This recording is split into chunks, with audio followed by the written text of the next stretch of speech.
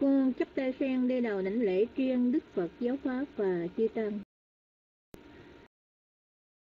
Con kính đảnh lễ Đại Đức Pháp Đăng, Đại Đức Minh Hạnh và chư Đức hiện diện đạo tràng. Kính chào quý đạo hữu.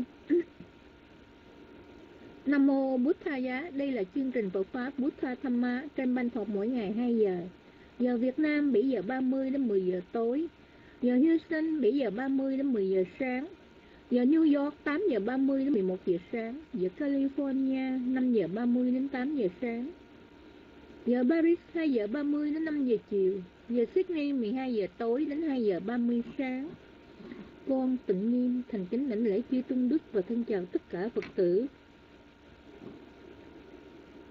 Hôm nay thứ Bảy ngày 1 tháng 11 năm 2014, Phật lịch 2558.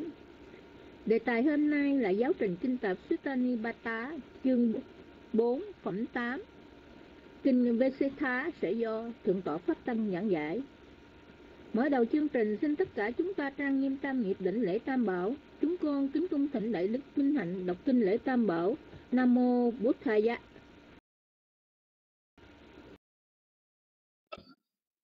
Ờ, luật đăng à, thưa quý vị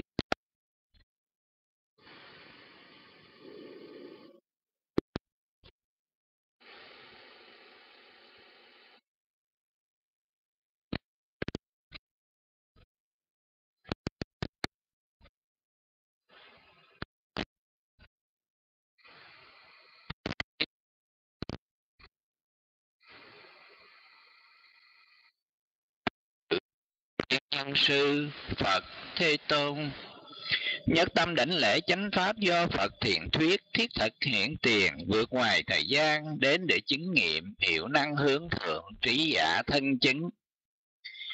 Nhất tâm đảnh lễ chư tăng đệ tử Thế Tôn, bậc diệu hạnh trật hạnh như lý hạnh, chân chánh hạnh, gồm bốn đôi tám vị đáng nhận lễ phẩm, tặng phẩm, tế phẩm, kính lễ là phước điền vô tâm đời nguyện cầu đức phật bảo, nguyện cầu đức pháp bảo, nguyện cầu đức tăng bảo. Bảo gia hộ ngăn ngừa mọi tai ương, những hiện tượng bất tường những mộng mị sâu xa, những nghịch duyên hãy thải đều mau tan biến. Nguyện muôn loài chúng người khổ xin hết khổ, người hại người hết sầu bi.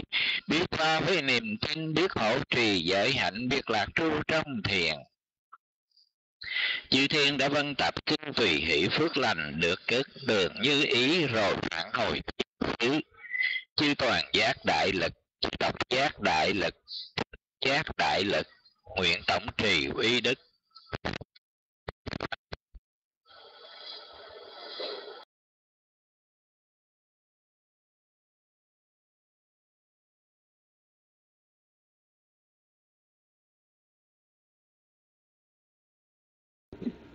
Sa thú sa thú, chúng con kính triên sư Minh Hạnh.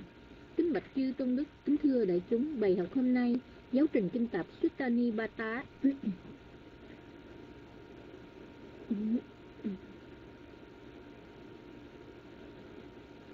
Do Hòa Thượng thích Minh Châu dịch Việc hôm nay chúng ta học Chương 3 Đại Phẩm. Kinh Vasetha Sutta Sẽ do Thượng tọa Pháp Tân giảng giải hiện tại con chưa thấy um, thượng tọa sắc đẳng hoặc thượng tọa tự siêu có ở đạo tràng. Nên vô thường xin phép đọc chánh văn trước rồi sau đó thỉnh chi tăng dẫn nhập và thuyết giảng.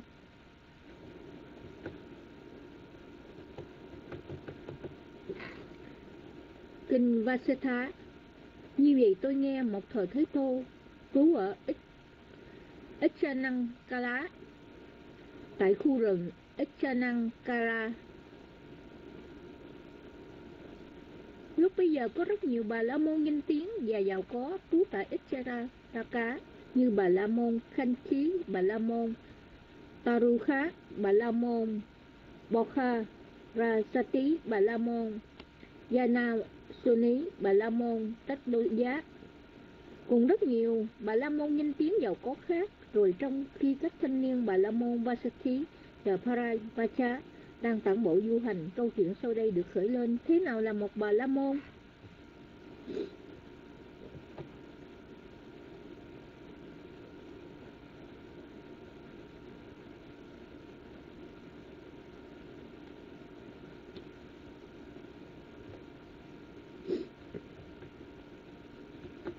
Thanh niên Pharaoh Chá nói như sau, nếu ai thiện sanh từ mẫu hệ và phụ hệ quyết sống thanh tịnh cho đến bi.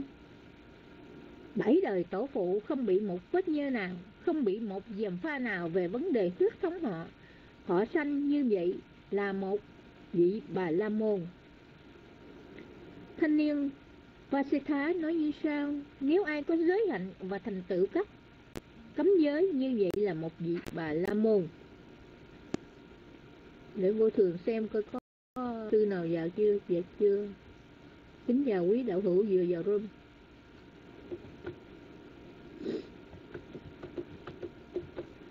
Thanh niên bà la môn phara qua chá không thể thuyết phục thanh niên bà la môn và sư thá. Và thanh niên bà la môn và sư thá không thể thuyết phục thanh niên phara qua chá. Rồi thanh niên bà la môn và Sê Thá nói với thanh niên Bà La Môn Pharawacha Này Pharawacha Sa môn Gautama Này là một tích tử xuất gia từ dòng họ Thích Ca, Nay đang trú ở Echanmankala Tại khu rừng Echanankala Tiếng đồn tốt đẹp sau đây được truyền đi về Thế Tôn Gautama Về tôn giả Gautama Đây là Thế Tôn Phật Thế Tôn Nay tôn giả Pharawacha, chúng ta hãy đến Sa môn Gotama. Sau khi đến hãy hỏi tôn giả Gotama về ý nghĩa này và Sa môn Gotama trả lời như thế nào chúng ta sẽ như vậy thọ trì. Thưa vâng. Thanh niên Bà La Môn Pharawacha vâng đáp thanh niên Vesatha rồi thanh niên Bà La Môn Vesatha và Pharawacha cùng đi đến Thế Tôn sau khi đến, nói lên với Thế Tôn những lời chào đón, hỏi thăm. Sau khi nói lên những lời chào đón, hỏi thăm thân hữu rồi ngồi xuống một bên. Rồi xuống một bên, thanh niên Bà La Môn Vasetha dùng những bài kệ bạch Thế Tôn. Chúng con cả hai người được tôn xưng tự nhận là những bậc thông thái cả ba tập vệ đà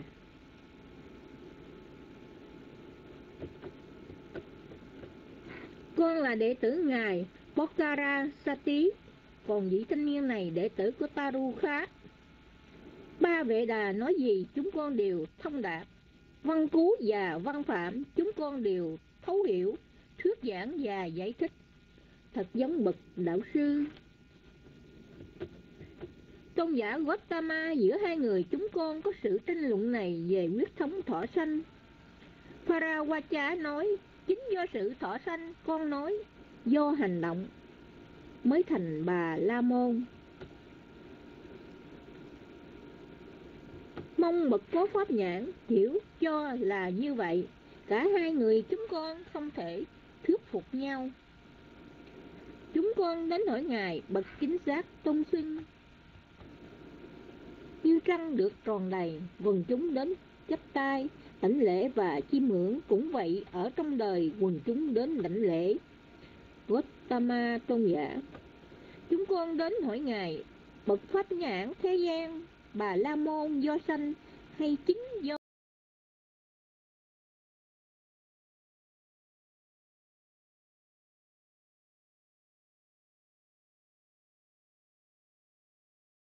hành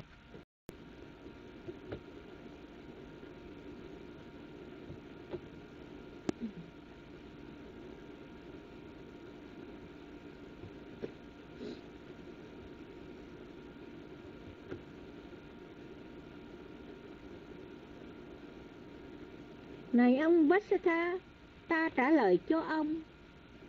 Thuận thử và như thật. Sự phân loại do sanh của các loại hữu tình chính do sự sanh đẻ do sanh có dị loại hãy xem cỏ và cây dầu chúng không nhận thức chúng có tướng thọ sanh, do sanh có dị loại. Hãy xem loại côn trùng bướm đêm các loại kiến chúng có tướng thọ sanh, do sanh có dị loại. Hãy xem loại bốn chân, loại nhỏ và loại lớn. Chúng có tướng thọ sanh, do sanh có dị loại. Hãy xem loài bò sát, loại rắn, loại lưng dài. Chúng có tướng thọ sanh, do sanh có dị loại hãy xem các loại cá, loại sinh sống trong nước. Chúng có tướng thọ xanh do xanh có dị loại.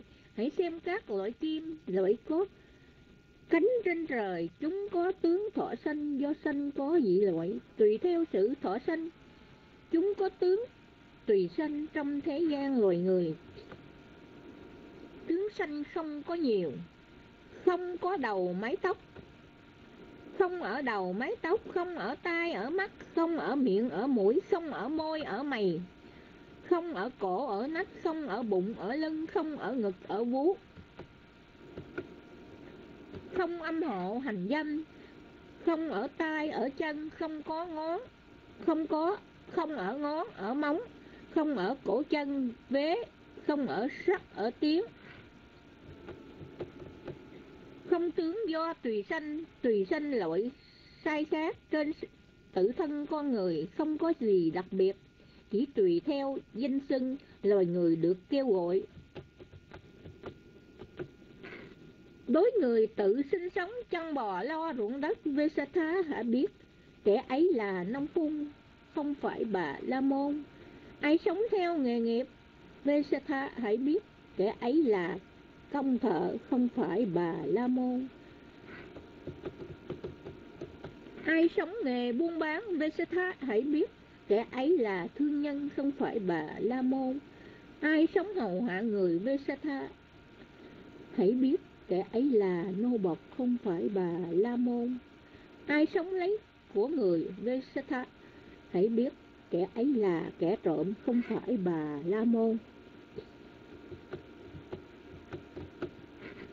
Ai sống nghề cung tên VC hãy biết kẻ ấy là nhà binh không phải bà la môn. Ai sống nghề tế tự Vasatha hãy biết kẻ ấy là tế quan không phải bà la môn. Ai sống giữa loài người thọ hưởng làng quốc độ Vasatha hãy biết kẻ ấy là vua chúa không phải bà la môn và ta không có gọi kẻ ấy bà la môn chỉ vì do thọ sanh giàu dĩ ấy cao sang. Dầu dĩ ấy giàu có nhưng còn ham thế lợi. Không tham lam thế lợi, không chấp thủ sở hữu. Kẻ ấy ta mới gọi chánh danh bà La Môn. Vì đoạn tận kiếp sử không ai Không sợ hãi, siêu việt mọi chấp trước. Thoát ly các thể phượt Kẻ ấy ta mới gọi chánh danh bà La Môn. Cắt dây thần, dây ác di cương cùng di trói quăng đi cày trắng ngang, kẻ ấy ta mới gọi bậc sáng suốt giác ngộ, chánh danh bà la môn. Ai không lỗi chịu đựng nhức mắng cùng, đánh rối trang bị với nhẫn lực, kẻ ấy ta mới gọi chính danh bà la môn. Không phẫn nộ dữ lục có giới hạnh không kêu nhiếp phục. Thân tối hậu, kẻ ấy ta mới gọi chính danh bà la môn. Như nước trên lá sen, hạt cải không dính nhọn, không tham luyến dục vọng, kẻ ấy ta mới gọi chính danh bà la môn. Ai biết ngay đời này, khổ vì ngã đoạn tận, gánh nặng được đặt xuống, xa lìa các hệ phược, kẻ ấy ta mới gọi chính danh bà la môn tuệ thâm sâu có trí, thiện xảo đạo, phi đạo. Đức tối thượng đạt được kẻ ấy ta mới gọi chính danh bà la môn. Ai không còn liên hệ, cả tại gia xuất gia không nhà tú thiểu dục kẻ ấy ta mới gọi chính danh bà la môn. Bỏ gậy đối chúng sanh, kẻ yếu cùng. Con đã đọc phần chính văn, bây giờ con kính thỉnh. Con không thấy thượng tọa pháp đăng ở đây.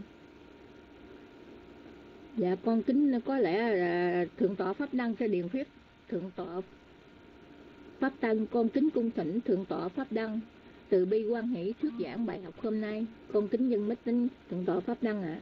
Nam mô bút thầy dạ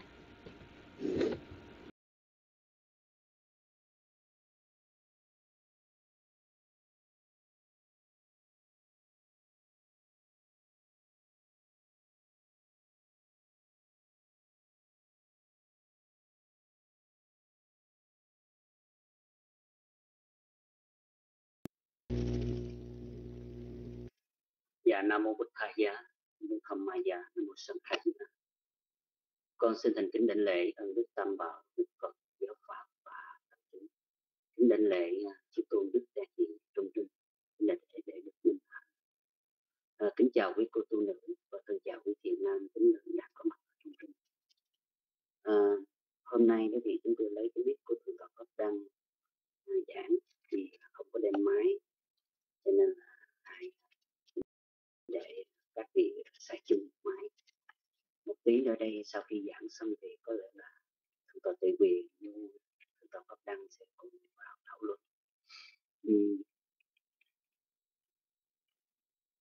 À, kính bạch chư tăng kính thưa quý vị tiếp tục cho cái bài học à, những tuần vừa qua đó là giảng cái bài kinh à, Vasistha hôm nay à, chúng tôi sẽ giảng hai đoạn tiếp theo của bài kinh uh, Vasikha thuộc ờ, uh, tiểu kinh kinh tập sức tạ thì thì bạch cho đến giờ này thì ờ, thì thứ bảy vào cũng như là thượng tọa Tuyệt siêu vào. Của mình chúng tôi là để được mình ăn mà thôi. Hy vọng rằng là một tiếng ở đây thì ờ, các vị chúng tôi được sẽ vào cùng thảo luận liên quan đến cái bài học hôm nay.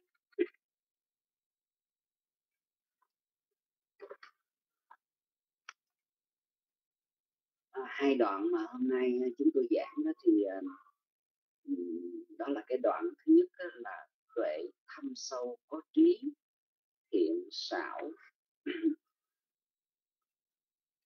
Đạo phi đạo đích tối thượng đạt được kẻ ấy ta mới gọi chính danh và là một đoạn thứ hai là ai không còn liên hệ cả tại gia xuất gia không nhà trú hiệu dục kẻ ấy ta mới gọi chính danh và là một. Thì à, lần lượt chúng tôi sẽ giảng hai đoạn liên quan tới bài kinh hôm nay. Um, bài kinh uh, đó là được định nghĩa uh, với cái nhận thức của một vị bà la môn uh, với cái cái cái cái, cái xứng danh được gọi bà la môn theo như cái nhận thức của những người theo đạo bà la môn hay những vị bà la môn giáo. Riêng đối với đức phật thì ngài định văn danh về ý nghĩa của danh từ bà la môn được chỉ cho một vị à, một chị mà à, đang làm cho mình được thanh tịnh hay vị đã thanh tịnh. Vị làm cho mình được thanh tịnh chỉ cho các bậc phàm phu uh, ờ, có trí uh, đang tu tập hay là những bậc thành hữu học. Uh, còn uh, ý nghĩa thứ hai của chính danh bà la môn là chỉ cho một cái vị a la hán đã hoàn toàn dứt sạch những chuyện nào thì uh, cái đoạn thứ nhất ở đây đó được nói là tuệ thâm sâu có trí. Tuệ thâm sâu có trí thiện xảo đạo phi đạo. Ừ. Thiện xảo đạo phi đạo.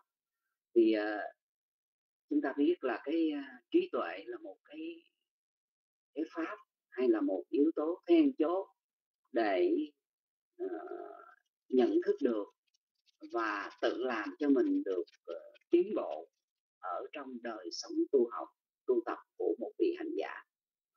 Cũng như trí tuệ là yếu tố then chốt để cắt đứt phiền não giảm trừ phiền não để đạt được thánh đạo thánh quả. Ừ, đó là hai cái cái, cái ý nghĩa quan trọng của cái trí tuệ. Khi nói đến trí tuệ đó thì uh, ngài ờ, uh, Na Tiên uh, à, Nagasena ngài có định nghĩa về trí tuệ. Trí tuệ có nghĩa là sự sáng suốt uh, hay là cái sự cắt đứt uh, sự sáng suốt hay có nghĩa là cắt đứt sáng suốt ở đây có nghĩa là ờ, chúng ta thấy rằng ở nơi nào có bóng tối, ánh sáng xuất hiện thì à, bóng tối sẽ tiêu dần như là kinh văn đã định nghĩa.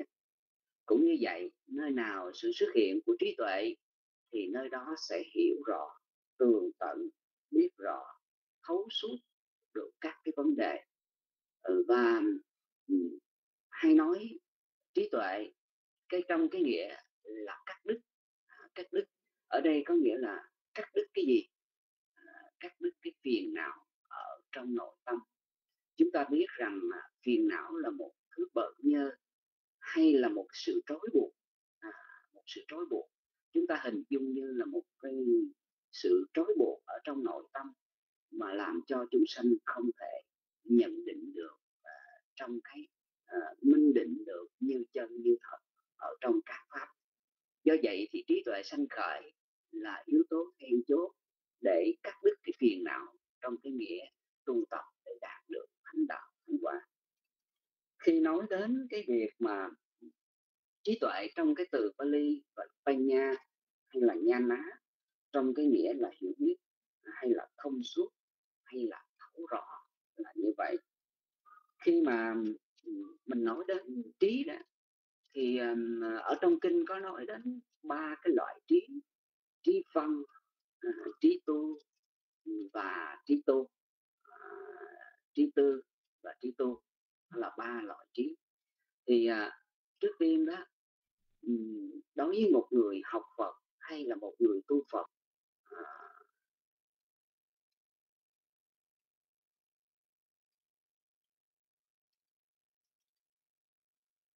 đối với một người học Phật hay là tu Phật đó thì à, cái việc ờ, trước tiên đó là mình à, hiểu Phật pháp là nhờ ở nơi học hiểu, ở nơi lời dạy của Đức Phật qua tam tạng kinh điển. Thì à, cái việc mà học Phật pháp đó là cái điều cần thiết của một cái người tu tập. Chúng ta tu tập mà không có cái sự học hiểu. Học thì bằng nhiều cách hiểu bằng nhiều cách. Tức là học rồi để rồi hiểu. Mà học ví dụ như là chúng ta lên trên ờ, à, uh, ban này cũng là một cái cách học. Rồi uh, chúng ta xem một cái cuốn kinh cao sách chấm cũng là một cách học. Chúng ta uh, ngồi hay là chúng ta có một cái hình thức nào đó nghe một bài pháp được một đơn vị giảng sư triển khai uh, cũng là cũng là cách học hoặc là chúng ta lên trên lớp học các lớp học giáo lý Phật pháp cũng là cách học. Như vậy thì học là để mở mang cái trí văn à, cho mình.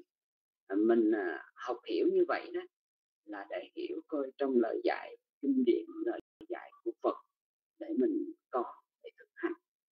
Cũng như là học ở bên ngoài xã hội thì người ta chỉ học để tạo nên cái kiến thức làm cái nên cái kiến thức để tạo những nghề nghiệp tài sản cho chính mình. Nhưng mà đối với một người học Phật đó tu Phật đó là học Phật để hiểu và để hành à, điều hiểu để hành. Đó là cái điều lợi ích then chốt. Rồi à, khi mà mình nói rằng học để mở mang trí văn là để cho cái trí của mình được mở mang khi mà mình hiểu rõ cái lời dạy của của của Phật. Cái loại trí thứ hai được nói đến tức là trí tư chúng ta có thể suy tư lời dạy của Phật bằng nhiều cách. Ví dụ như một người khi mà đọc qua một cái lời dạy của Phật ví dụ như Phật dạy là vô thường khổ vô ngại nếu chúng ta học không học không hiểu thì không thể nào biết được uh, thế nào là vô thường thế nào là khổ thế nào là vô ngã và thế nào là pháp đưa đến hướng thượng thế nào là pháp đến đọa lạc chúng ta không hiểu được điều đó. Nhưng mà khi chúng ta nhờ học có trí văn hiểu sau đó chúng ta biến trở thành cái trí tư. À, trí tư ở đây là nhờ cái sự suy tư.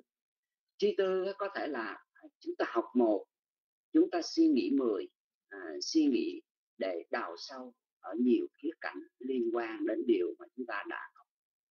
Trí tư ở đây đó có thể là tự người tự mỗi người có một cái khả năng riêng để suy tư về lời dạy của Phật liên quan với cuộc sống thực tại của chính mình.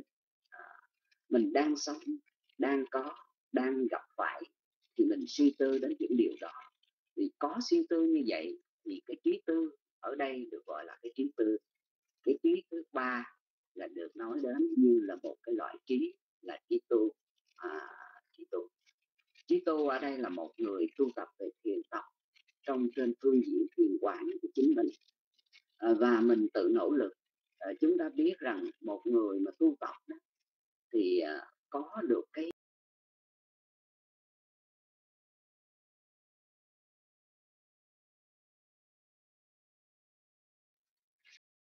cái trí à, đặc biệt là nhờ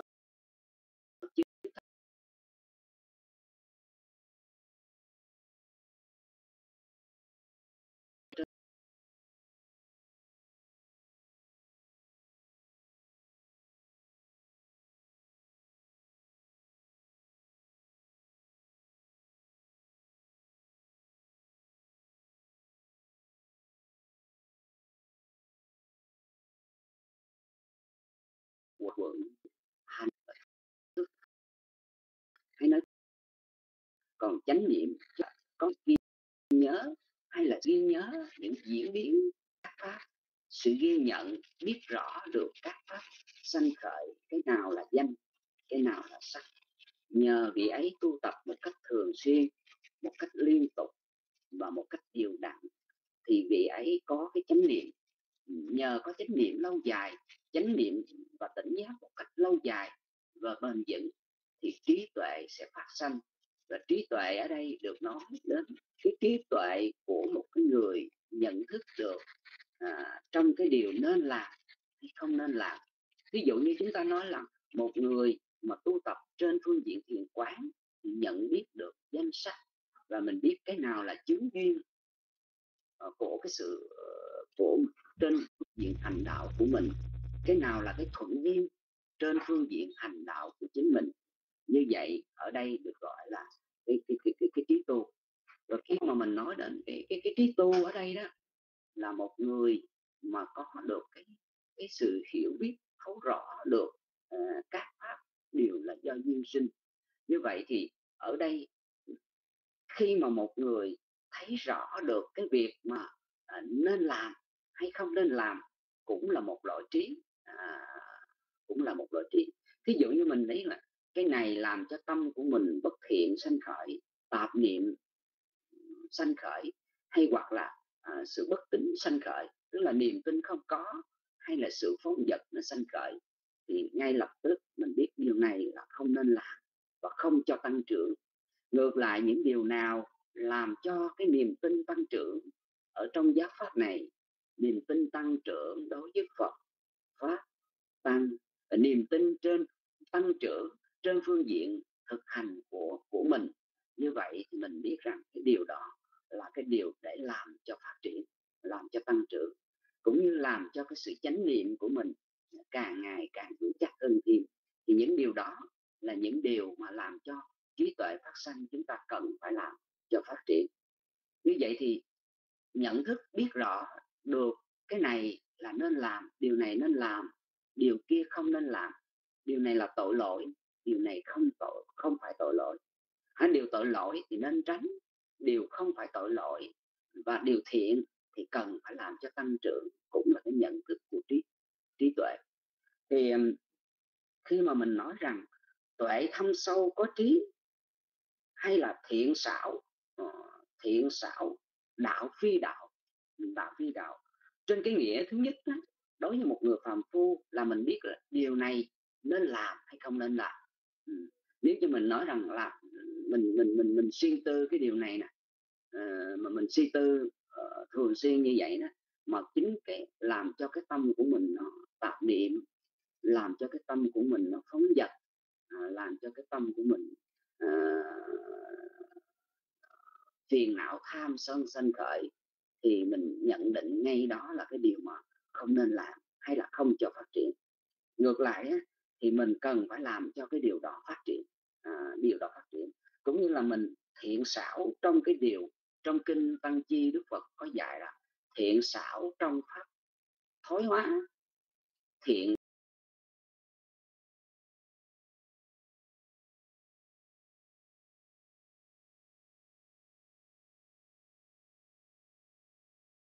trong pháp tiến hóa và gọi là người bạn không tốt gọi là papa à, người bạn ác chẳng hạn. Thì khi mà mình gần gũi những bạn đó, đó cái niềm tin của mình nó bị, bị bị giảm bớt đi hay là làm cho cái cái tâm của mình nó nó, nó phiền não nó giấy khởi. Tức hả sân sanh khởi tham sanh khởi hoặc là tà kiến sanh khởi. Mình gần với một người nào đó mà có cái tà kiến đó, thì ờ, nếu không khéo đó thì mình dễ dàng bị lôi cuốn trong cái tà kiến cái nhận thức sai hoặc là gần gũi với những người mà bất tín, tức là những người không có niềm tin đối với pháp, không có niềm tin đối với tam bảo, thì mình gần gũi với người đó do sự thân cận đó, cho nên là dễ dàng bị lôi cuốn vào trong đó.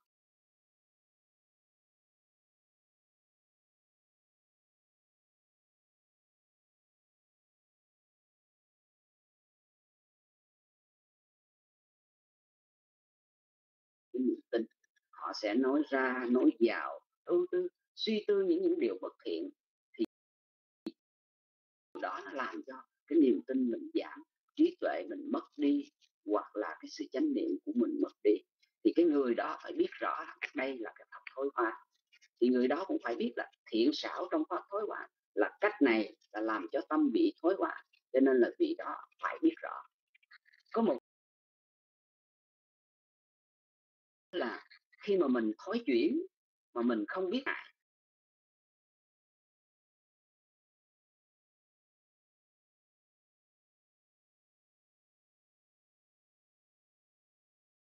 à, người hạnh còn ngược lại mình hạnh à, có chánh. Thì khi mình gần gũi những người đó cái tâm của mình cái niềm tin tốt hơn vững chắc hơn. Thì khi mình gần gũi những người đó thì chính là làm cho cái thiện pháp mình tăng trưởng. Hay mình suy tư những điều gì để cho cái niềm tin của mình càng vững chắc hơn ờ, chánh niệm của mình càng vững chắc hơn, rồi à, rồi rồi mình nó có thể tạo nhiều cái thiện sự, thiện pháp khác nhau để rồi cái đời sống tu hành của mình à, có thể được tăng qua, thăng qua. Thì ở đây là cái người đó thiện xảo trong pháp tiến hóa. Rồi cái thiện xảo thứ ba là thiện xảo trên phương diện là là là cái người đó biết cái phương tiện biết cái phương tiện làm cho cái tâm của mình tăng trưởng thí dụ như quý vị biết rằng là có người thích hợp cho một đề mục này à, để cái tâm của mình nó định tĩnh thì mình nương tựa vào gắn tâm vào trong cái đề mục đó rồi mình biết được cái đề mục này là không thích hợp với mình à, mình biết được như vậy thì mình phải chọn cái đề mục để thích hợp ừ. tu như vậy đó tuy rằng như vậy nhưng mà mỗi người có một cái cái căn căn duyên nhất định, cái căn duyên nhất định và căn duyên đó nó hoàn toàn khác nhau ừ, khác nhau do mỗi người. Ví dụ như chúng ta biết được trong kinh thì có gì là tính căn mạnh, có gì tấn căn mạnh, có gì điểm căn mạnh ừ, có gì à, định căn mạnh, vân vân. Thì tùy vào mỗi người à, và trong mỗi cái cơ tính à, trong thanh tịnh đạo ngài Bút Thác Cô Xá cho biết rằng có sáu cái căn tánh à, có sáu căn tánh. Và tùy vào mỗi căn tánh để chọn cho mình một cái đề mục thích hợp đây là một người có thiện xảo trong phương tiện. Tức là biết cái cách làm cho cái nội tâm của mình được tăng trưởng. Đó là cái điều mà à, gọi là thiện xảo. Khi mà mình có thiện xảo như vậy đó là mình có thể rằng à, mình biết được là cái điều nào làm cho mình được tiến qua mình nhận thức được là mình được tiến hóa. À, ví dụ như trong kinh pháp cú đức phật có dạy rằng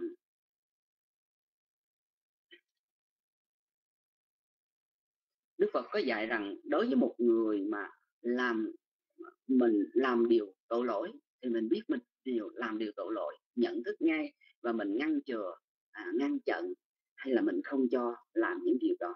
Rồi mình biết cái điều nào làm mình làm mà không có tội lỗi thì mình nhận thức ngay là mình không có tội lỗi. À, như vậy thì cái người có chánh kiến ở trong lòng à, và như vậy thì ở đây đó là mình biết được cái pháp tiến hóa cho đời sống tu tập của mình. Khi mà mình nói đến trên phương diện tuệ mà thâm sâu có trí hay là thiện xạo đạo phi đạo ở đây đó quý vị trên phương diện thứ hai à, cấp một cấp độ thứ hai nữa là thế nào gọi là đạo phi đạo? Khi nãy đó là chúng ta nhận thức được cái nào là là thiện cái nào là ác cái nào là tiến hóa cho đời sống tu tập của mình cái nào pháp nào làm cho nó thói quá trên phương diện tu tập của mình thì cái đó là trên phương diện của một người phàm phu. Nhưng mà ở đây trên một trên phương diện của một cái người tu tập thiền quán hay hoặc là um, trên phương diện thiền quán thì vị ấy quay về chỉ chính mình. Quay về chính mình có nghĩa là mình uh, soi thấu bằng cái chánh điện mà mình soi thấu đối với danh và sắc này do danh và sắc. Bởi vì có những cái giai đoạn mà tu tập của của của một cái vị hành giả vị đó có thể thấy rằng ừ, đây là cái thành quả của mình. À, có thể là có khi nhận ra là sắc là sự trở ngại à, sắc quẩn là sự trở ngại à, tưởng quẩn hành quẩn thức quẩn là sự trở ngại ừ. bởi vì còn suy tư đến những điều đó ừ. và chính những cái cái cái cái ở đây đó có thể là vị đó nhận trên một trên phương diện thiền quán thì cái vị ấy đó, biết rõ cái nào nó thuộc về sắc quẩn thuộc quá khứ à, sắc quẩn thuộc quá khứ cái sắc gì mà nó sanh ra rồi nó diệt mất cái đó nó thuộc về sắc của thuộc quá khứ hay mình nói cách khác tức là cái sắc thân của một kiếp trước của mình thì cái đó thuộc về sắc quá khứ hay là sắc quẩn tức là trong mỗi mặc dù trong a tỳ đàm á, thì gọi là ừ, tâm của chúng ta đó nó sanh khởi nhanh so với lại sắc quẩn của chúng ta đó là 17 lần à, 17 lần. Tức là 17 sắc ra của của của của tiến trình dòng tâm thức trôi qua đó thì sắc pháp mới tiêu diệt một lần nhưng mà mỗi khi sắc pháp được tiêu diệt sắc pháp ở đây chúng ta tạm gọi như là sắc thân của chúng ta hay gọi là sắc quẩn à, tức là những cái nói nôm na như những cái tế bào sinh diệt. À, nó mặc dù nó chậm hơn danh pháp 17 lần như vậy nhưng mà nó cũng phải sanh diệt. Và cái gì nó đã trôi qua sắc quẩn gì mà nó đã trôi qua nó đã sanh rồi diệt rồi đó thì ta gọi là sắc của quá khứ. Mà vị hành giả đó, tu tập trên phương diện thiền quán là nhiệm vụ có chánh niệm tức là nhờ có chánh niệm tỉnh giác một cách lâu dài thấy rõ được cái sự sanh diệt của sắc quẩn này hay là thọ quẩn này hay là tưởng quẩn này thức quẩn này hành quẩn này nó thuộc về quá khứ. À, nó thuộc về quá khứ. Như vậy thì cái gì mà thấy rõ? Ví dụ như quý vị thấy rằng nhiều khi là mình à, nhìn vô cái chữ mà lúc nhỏ mình học lớp 1, lớp 2 thì bắt đầu mình đánh đánh đánh đánh dần từng chữ tức là a b c d d gì đó. Ví dụ như là cái chữ tôi t o y thì à, đọc là tôi. Nhưng mà đến khi mà bây giờ mình thuần là mình nhìn vô chữ đó là biết chữ tôi à, chữ tôi. Sự thật ra nó không phải đánh dần như ngày xưa nhưng mà rõ ràng là trong đó có cái cái đánh dần nhưng mà đánh dần là nó, nó qua mau nó quá mau đi nó quá mau cho nên chúng ta không thấy cái đánh dần đó. Ừ, cái đánh dần đó. Nhưng mà cái người có chánh niệm đó, là cái người biết được sự diễn biến trong từng cái khoảng cách đó. Tức là ngay cả khi mà mình bây giờ mình đọc vô chữ tôi à, chữ tôi hay à, chữ gì đó thì không chúng ta không cần phải đánh dần như ngày xưa là abc lặp lại. Mà chúng ta chỉ nhìn vào chúng ta thấy thôi. Nhưng mà chúng ta đọc được ngay thôi. Nhưng mà trong đó nó có cái sự đánh dần mà nhờ cái gì đánh dần cái đó? Chúng ta phải biết đó nhờ cái sự chánh niệm. Ừ, chánh niệm. Và cái vị có chánh niệm một cách lâu, bền vững đó à, vững chắc đó, thì vị ấy mới thấy được sắc quẩn này là vô thường. Ừ, sắc quẩn này là vô thường hay sắc quẩn này là vô ngã. À, sắc quẩn này là khổ. Sự biến di, biến dịch, nó là vô thường.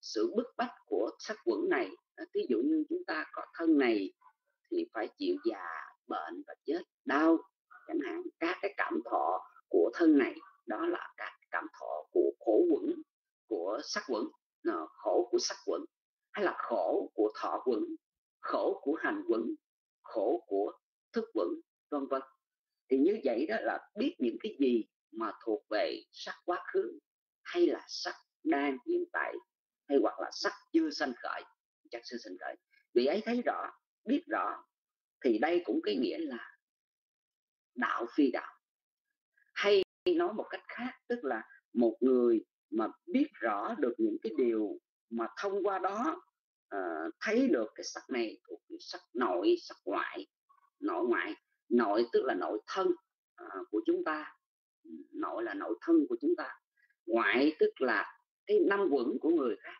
à, nó sinh diệt vô thường là mình bị cái gọi là dục thủ kiến thủ rồi ngã chấp thủ ừ. liên quan đến năm dục ái mà tăng trưởng mạnh sinh ra liên quan đến cái à, nà, gọi là ừ, ngũ dục đó thì đó ta gọi là à, là là là là tham trong ngũ dục nhưng mà tham tăng trưởng mạnh thì thì thì nó sẽ trở thành cái cái thủ à, mà ở đây liên quan đến dục thủ à, hay liên quan đến ngã chấp thủ tức là mình à, gắn với cái tự ngã của chính mình à, gắn cái tôi cái ta tôi cảm thọ tôi đau tôi ăn tôi buồn tôi đói tôi vui tôi no uh, vân vân và vân vân gắn với cái tôi trong đó thì mỗi cái gọi là vì vậy cho nên trong kinh Phật dạy rằng sanh là khổ bệnh là khổ già là khổ chết là khổ muốn không được là khổ. Thương yêu xa lìa là khổ, mà ghét mà gặp mặt nhau lại là khổ. Nhưng tóm lại, Đức Phật dạy là do chấp thủ năm quận, cho nên hiện khởi cái sự khổ, chấp thủ năm quận, cho nên hiện khởi là khổ. Liên quan đến cái ngã chấp thủ, liên quan đến cái kiến thủ, tức là cái thường hàng mà chúng ta gắn với cái tôi, cái ta đó.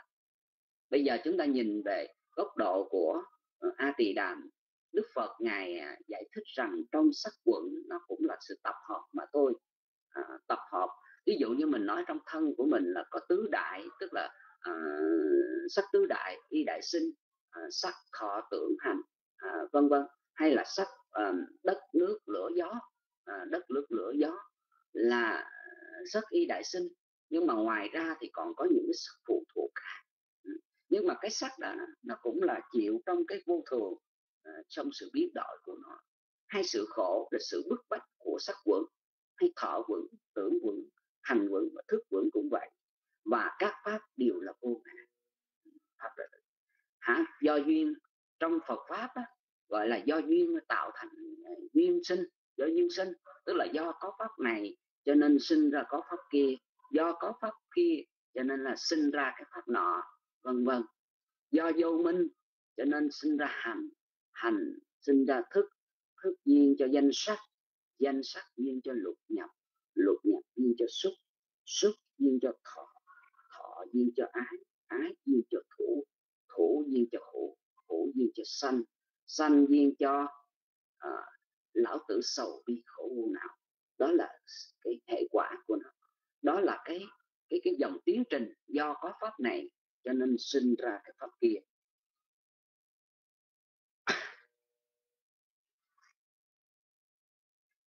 Với một cái người mà tu tập đó thì à, cái thành tựu của một cái điều gì đó nó không phải là chúng ta biết rằng cái cái cốt lõi thành tựu của uh, của của tức là cái cốt lõi mà thành tựu của của mục đích của con đường phạm hạnh nó không phải là uh, cái điều gì. Nhiều khi rồi trong cái à, cái tâm của mình cứ ngỡ rằng uh, ngỡ rằng mình đã thành tựu uh, ngỡ rằng mình đã thành tựu. Nhưng mà cái cái đó là chính ở trong những cái phản cách mà lưỡng lự đó cái phản cách mà uh, dường như tưởng như mình đã, đã thành tựu rồi đó. Nhưng mà kỳ thật chưa phải là thành tựu đó thì đó là cái cái chỗ mà ta gọi là những cái chứng duyên giữa cái đạo và phi đạo đạo và phi đạo. Vì vì vậy cho nên là trong kinh ờ, dụ lỗi cây đó dụ lỗi cây đó thì ờ, đức phật ờ, thuộc trung bộ kinh đó, đức phật ngài nói rằng cái người mà À, tu lâu năm à, rồi à, có được cái sự danh vọng ừ, danh danh danh vọng ví dụ những gì mà có uy tín được mọi người trọng vọng được mọi mọi người quý mến là do có đức độ do có giới hạnh vân vân. Thì được mọi người kính trọng quý mến như vậy. Nhưng mà điều đó nó không phải là cái kết quả à, nó không phải là cái kết quả. Mà sự thật nó cũng chỉ là một bước đầu của một cái hành trình chữ dài trên phương diện tu tập mà thôi rồi một cái gì mà uh, thành tựu cho mình một phần nào đó của giới. Một cái vị mà thành tựu uh, trên phương diện nào đó một phần nào đó của giới. Ví dụ mình thành tựu về giới đi à, thành tựu về giới. Tức là giới được thanh tịnh. Trong kinh thì Phật dạy rằng do giới năng sanh định định năng sanh tuệ thì điều đó là điều hiển nhiên. Nhưng mà cái giới nó cũng chỉ là một cái, cái chặng đầu của một cái đời sống tu tập thôi giới đối với một người phàm phu thì cũng chỉ chẳng qua là giới giới nguyện và giới ngăn mà thôi. Giới nguyện tức là mình à, nguyện trước tam bảo trước phật pháp tăng để nguyện sinh thọ trì gìn giữ những điều đó. Ừ, gìn giữ điều đó. Có tam bảo chứng minh đó là giới nguyện. Rồi mình có một cái loại giới thứ hai nữa là giới ngăn. Tức là mình có cái tâm chủ ý à, để mà mình ngăn trừ tránh xa những cái điều tội lỗi ví dụ như trong thanh tịnh đạo, ngài Buddha Cô Xá ngài dạy rằng giới là gì? Giới là sự chủ tâm ngăn chặn những phiền não, ngăn chặn những hành vi xấu do thân khẩu ý mang lại. Ngài định nghĩa như vậy, thì có nghĩa là mình có cái tâm. Ví dụ như là mình có cái tâm chủ ý là mình tránh xa những điều đó. Ví dụ như các vị thấy rằng mình nguyện là con xin phân giữ điều học là cố ý tránh xa sự sát sanh, vân vân, thì như vậy là mình có sự chủ tâm để mà mình ngăn chặn những cái phiền não bị đối những người giới phàm phu là chỉ có giới quyền và giới ngăn. Thì còn đối với bậc thánh á, thật sự là có được cái giới sát tức là chỉ cho cái tâm của các vị đó đã thật sự sát trừ những cái phiền não. Cho nên phiền não từ đâu sanh khởi?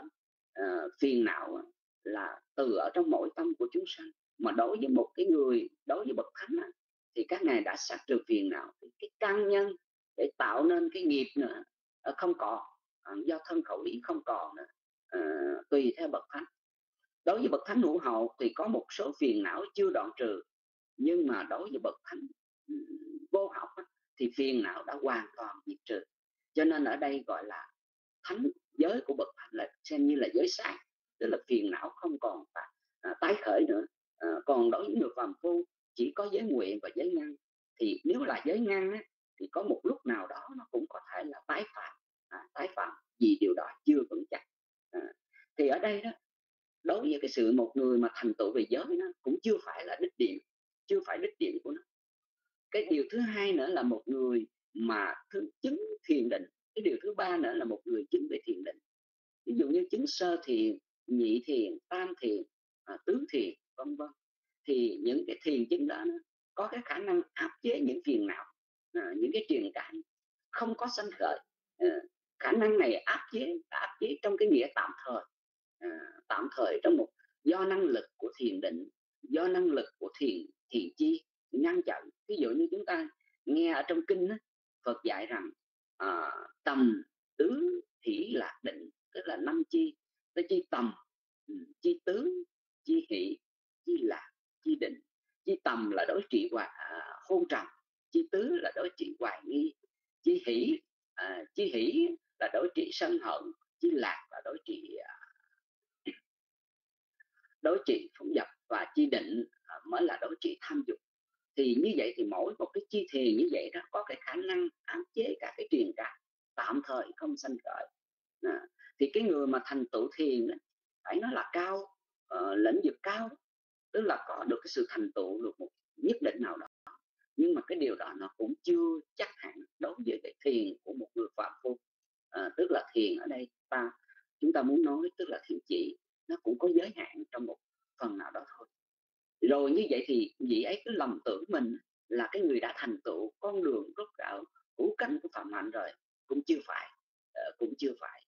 Chỉ có một người mà chứng được quả vị thánh nhân đặc biệt là đạo vị quả vị la hán tức là tâm tuệ do trí tuệ cắt đứt phiền não uh, hoàn toàn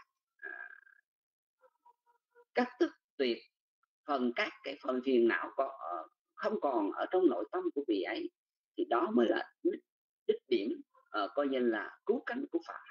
À, cũng như là trong kinh Phật dạy là đối với một người đi tìm lõi cây uh, người đó nhìn cái giác cây cũng đừng cho đó là lõi cây.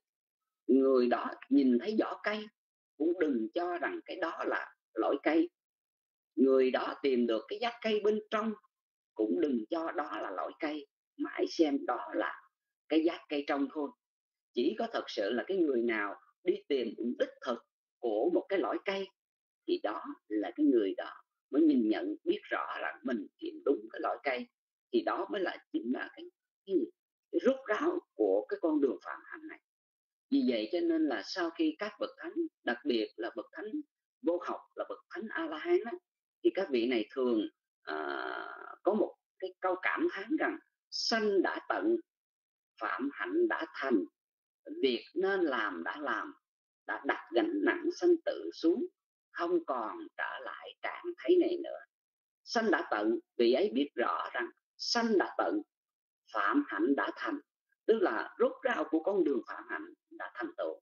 Tức là giới đã được thành tựu viên mãn định đã được thành tựu viên mãn tuệ đã được thành tựu viên mãn trong chú giải thì các ngài giải thích rằng à, một vị thánh tu đà quờ là vị xem như là hoàn thiện về giới con đường phạm hạnh hoàn thiện về giới. Đối với bậc thánh tam quả tức là bậc thánh à, tam quả đó bất lai đó vị này xem như là thành tựu về định thành tựu về định. Đối với bậc thánh vô học tức là bậc thánh a la hán thành tựu về tuệ như lại con đường phạm hạnh là giới định và tuệ. Hay nói là con đường vô lậu học tức là ba pháp nền tảng này làm cắt đứt những cái phiền não nữa à, phiền não. Vì vậy cho nên là con đường phạm hạnh được viên mãn là như vậy. Và sanh đã tận phạm hạnh đã làm việc nên làm đã làm. Tức là việc nào đã làm thì đã làm. Tức là đã làm cho sanh tử không còn cái căn nhân sanh tử phiền não không còn sanh khởi nữa thì cái quả của luân hồi sanh tử nó không còn. Do vậy chúng ta biết trong thập nhị nhân duyên thì à, à, nó có ba cái hệ nó có ba cái hệ đó là nhân và quả. Thì cái nhân mà đưa đến sanh tử nó có hai nhân đó phiền não đó là phiền não và nghiệp. Khi nói phiền não nó thì là vô minh tham ái và chấp thủ tức là những cái sức những cái phiền não trói buộc bận nhơ của tâm uh, tâm phạm phu trong tâm phạm phu. Rồi nghiệp ở đây bao gồm cả hành và hữu tức là hành động thiện và bất thiện. Như vậy đó là cái căn nhân để tạo ra cái quả luân hồi mà chúng ta có uh, có xúc rồi có uh, sanh rồi có già lão bệnh chết sầu bi khổ não. Đó là quả của của luân hồi. Mà một người cắt đứt được căn nhân của luân hồi rồi đó thì không có cái quả của luân hồi. Như vậy thì đối với cái bậc mà gọi là à, cái câu ở đây được gọi là tuệ thâm sâu có trí thiện xảo đạo phi đạo đích tối thượng đạt được. Kẻ ấy ta mới gọi chính danh bà là một ừ. còn cái đoạn thứ hai ở đây đó thì à, như trong đoạn kinh này đó thì à, à, đức phật ngài có dạy rằng ai không còn liên hệ cả tại gia xuất gia không nhà trú uh, thiểu dục kẻ ấy ta mới gọi chính danh bà la môn thì cái đoạn thứ hai ở đây đó thì ờ, chúng ta biết rằng cái cuộc tu của chúng ta đó nó dường như là một cái cái chuỗi dài mà đi ngược cho cái dòng đời. Dòng sông thì ờ, luôn luôn uh, trôi chảy cho một chiều và dòng luân hồi nó cũng thuận theo dòng à, thuận theo dòng. Tức là luôn luôn thuận theo một dòng mà chúng ta đang bị thuận theo cái dòng ở đây là dòng của phiền não dòng của sinh tử luân hồi. Chúng ta bị dòng bốn cái dòng nước đó là dục bậc lưu khổ bậc lưu kiến bậc lưu và vô minh bậc lưu trói buộc và trôi chảy cuốn hút chúng ta trôi lăn trong dòng sinh tử luân hồi. Như vậy thì khi mà đức phật ngài giác ngộ á, ngài cũng hiểu rõ những điều đó. Vì vậy cho nên là khi ngài giác ngộ đức phật cái bồ đề ngài đều thốt lên những lời cảm thán ngài nói rằng lang thang bao kiếp sống ta tìm những không gặp khổ thai phải tái sanh. Người xây dựng nhà này khổ thai phải tái sanh. Phật dạy như vậy.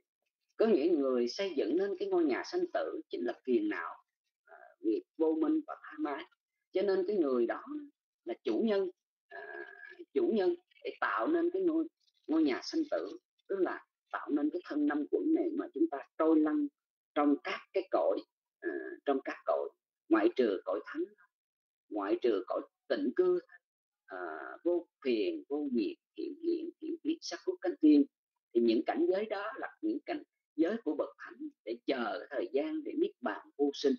Còn những cõi còn lại từ cõi khổ đến cõi vui đó dường như chúng sanh trôi lăn trong dòng sanh tử. Vì vậy cho nên đức phật này nó là lang thang bao kiếp sống ta tìm nhưng không gặp khổ thai phải tái sanh người xây dựng ngôi nhà này khổ thai phải tái sanh có nghĩa là cái người xây dựng ngôi nhà này và câu sau đức phật này nói là, nay ta đã thấy ngươi à, ngươi không còn có, ta đã bắt gặp được ngươi ngươi không còn có cái khả năng mà xây dựng ngôi nhà này. Tức là ngài đã đoạn trừ được phiền não, vô minh và tha mái. Cho nên là vô minh và tha mái là hai cái pháp để dẫn lên cái đời sống luân hồi này. Và đức phật là cái người mà bắt gặp những kẻ này, không cho kẻ này xây dựng ngôi nhà này nữa. Thì um, ở đây đó, khi mà nói đến cái ai liên hệ cả tại gia và xuất gia, thật sự là khi mà mình nói đến xuất gia hay là tại gia là nó có những cái sự ràng buộc của nó. Xuất gia thì à, tại gia thì quý vị biết rồi, nó nhiều cái sự ràng buộc. Chúng ta muốn nói đến cái điều mà à, Phật dạy trên phương diện giải thoát à, trên phương diện giải thoát, trong cái nghĩa này à, trên phương diện giải thoát. Có nghĩa là khi mà mình nói đến tại gia đó, thì nó có những sự ràng buộc của nó. À, người mà à, tu tại gia thì có những sự ràng buộc. Ràng buộc như là gia đình chồng vợ con à, vợ con chồng.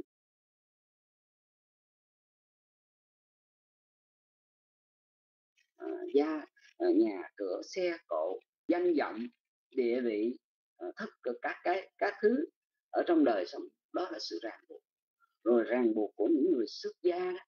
nếu mà mình xuất gia, nhưng mà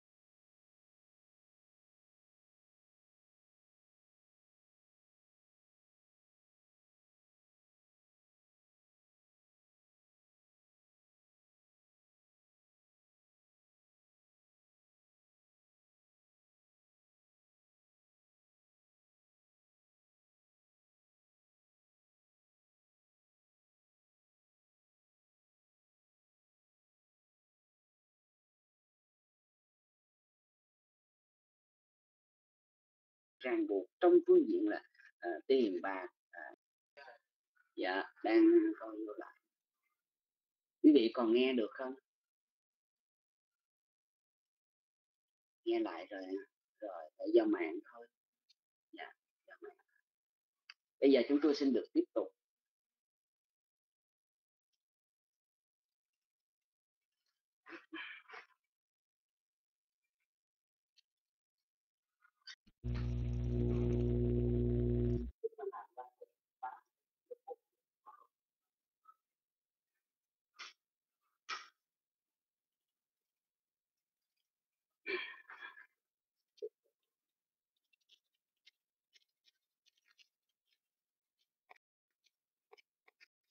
À, rất quan hỷ à, thấy à, thượng tọa tùy quyền vào rừng à, vấn đề thượng tọa.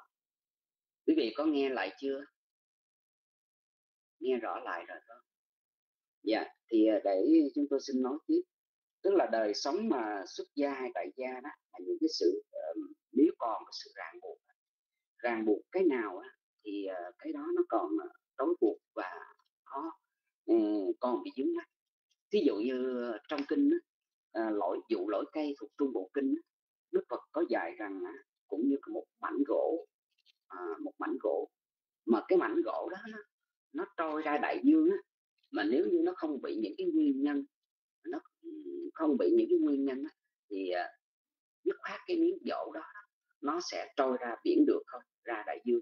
Mặc dù là từ ở trên thượng nguồn nó chảy xuống rồi nó nó ra sông ngặt à, từ à, sông rạch trên suối rồi ra uh, sông nhỏ ra sông lớn rồi cuối cùng mà ra cửa biển ra đại vương uh, ờ, ra đại dương thì nó biết qua bao nhiêu ngõ ngách nó bao nhiêu cái chặng đường trôi nổi như vậy.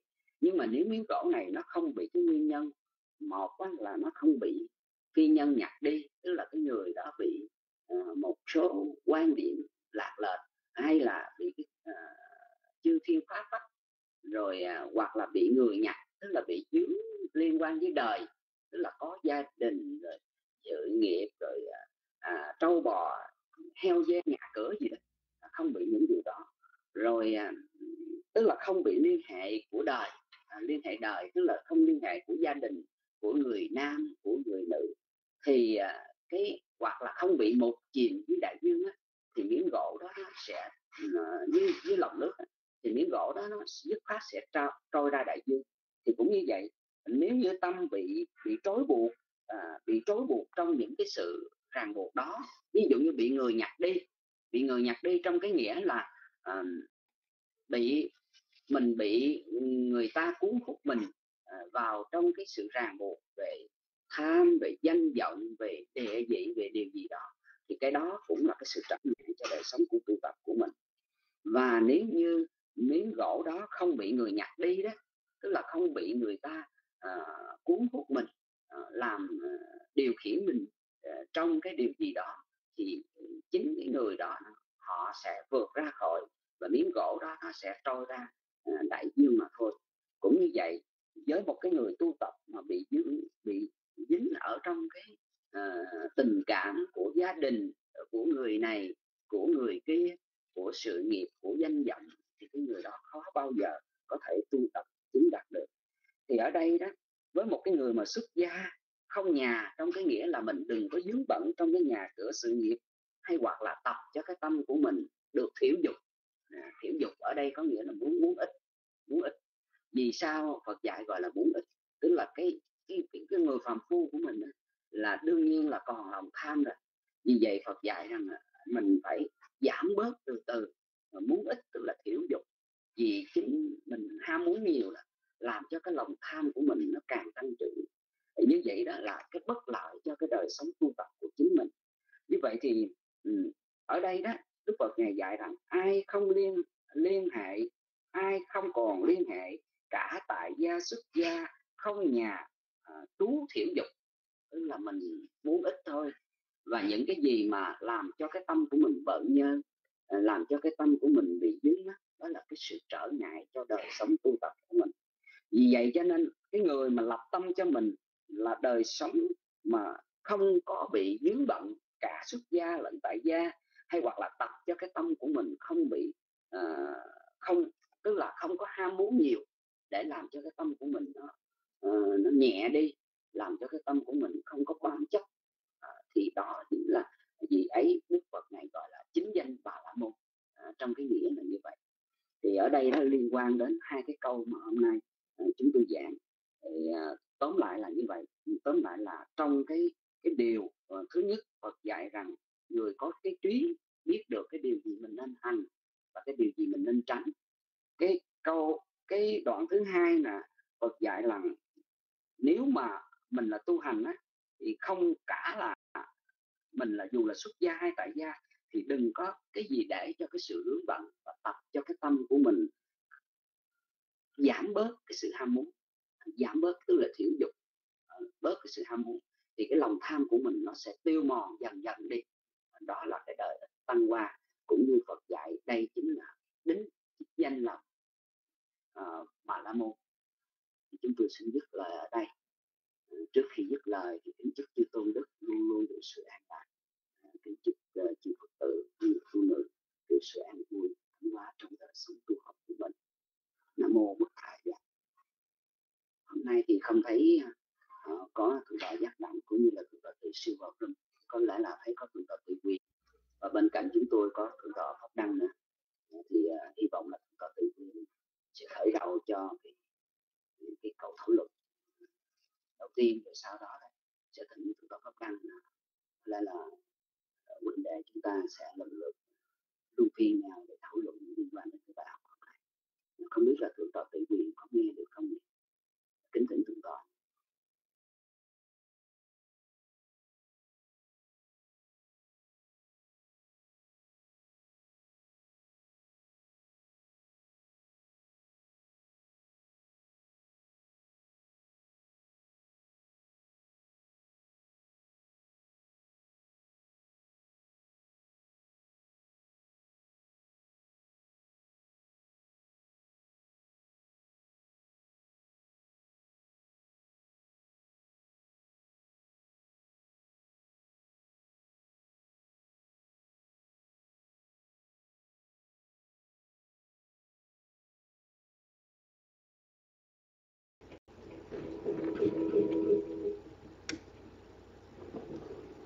Sa thụ sa thu lành thai chúng con thành kính đảnh lễ tri ân. Thượng tọa pháp tân đã từ bi thuyết giảng bài học ngày hôm nay. Nam mô bích tha giá, con thành kính đảnh lễ chư tôn đức tăng. Và quỳnh kính chào đạo tràng. Và theo lời của thượng tọa pháp tân chúng con cung thỉnh thượng tọa tề quyền à, từ bi đăng đàn để à, điều hợp chương trình ngày hôm nay. Ngày hôm nay chúng con không có thượng tọa tệ siêu cũng như không có thượng tọa giác đẳng. À, chỉ có à, theo như con biết chỉ có thượng tọa pháp thân trong cái nick thượng tọa pháp đăng và thượng tọa pháp đăng thượng tọa tệ quyền. Tức là có ba vị giảng sư ở Việt Nam nhưng mà đang ở nước ngoài. Và đạo tràng thôi. Dạ, con xin à, điềm khuyết cho tri chúng con cung thỉnh thượng tọa tề quyền. Dạ Lộc Quỳnh cảm ơn đạo tràng đã cho Lộc Quỳnh biết được tín hiệu. Dạ con à, cung thỉnh. dạ nhưng mà Đại Đức Minh Hạnh chỉ có là truyền giới thôi. Dạ không có không có thuyết giảng. Dạ con sám hối với sư. Nam mô Bích Tha dạ dạ thượng tọa tệ quyền có nghe được âm thanh của con không? Sư cho con xin một tín hiệu ạ. À. dạ con tri ân sư rất là nhiều. Dạ thượng tọa tề quyền có nghe được âm thanh của lộc quỳnh không? Cho lộc quỳnh xin một tín hiệu. Ô oh, sư đang mượn nick à dạ xa thú xa thú lành thai. Dạ con kính nhân mít đến à, à, à, à thượng tọa tệ quyền trong à, cái nick à, minh hạnh à, đại đức minh hạnh. Xa thú xa thú vậy là bốn vị đều ở chùa Phật Pháp hết rồi. Dạ xa thú xa thú lành thai và con kính nhân quýt đến ngài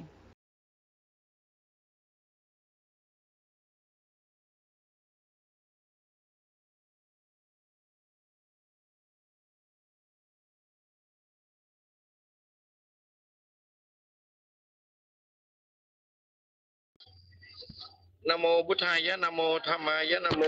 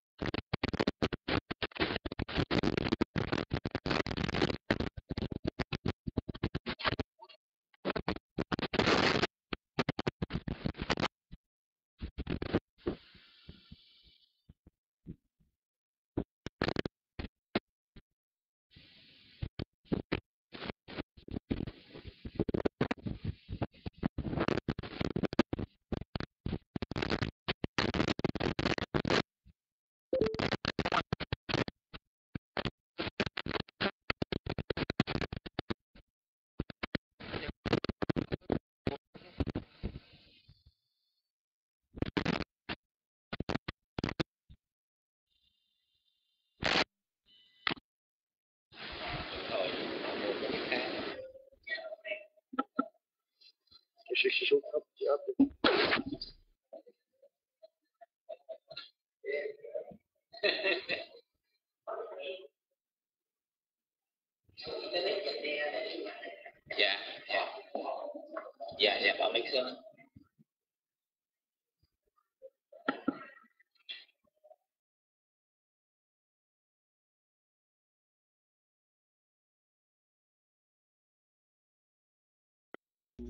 Nghe rõ không ạ? À?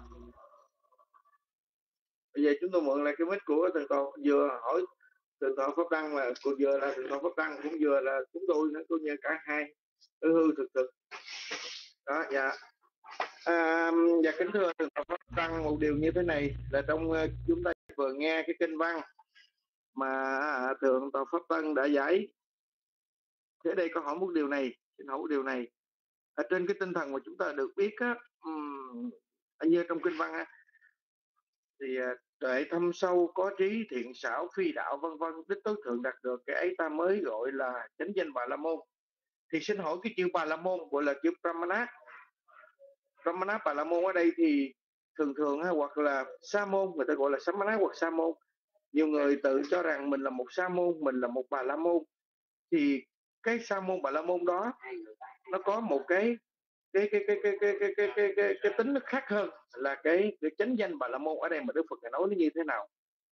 Chẳng hạn như chúng ta thấy ở trong giai cấp người ta cũng tự xưng là bà la môn. Ở trong uh, ấn độ thời xưa và cũng như là à, người ta cũng tự cho mình là sa môn coi như sa môn này sa môn nọ mà người ta tự xưng ra như vậy. Thì như vậy có đúng nghĩa là chánh danh gọi là một bà la môn trên tinh thần của ý nghĩa Phật pháp không? Thì kính cung thỉnh thượng tọa pháp tăng nam mô bụt thầy á.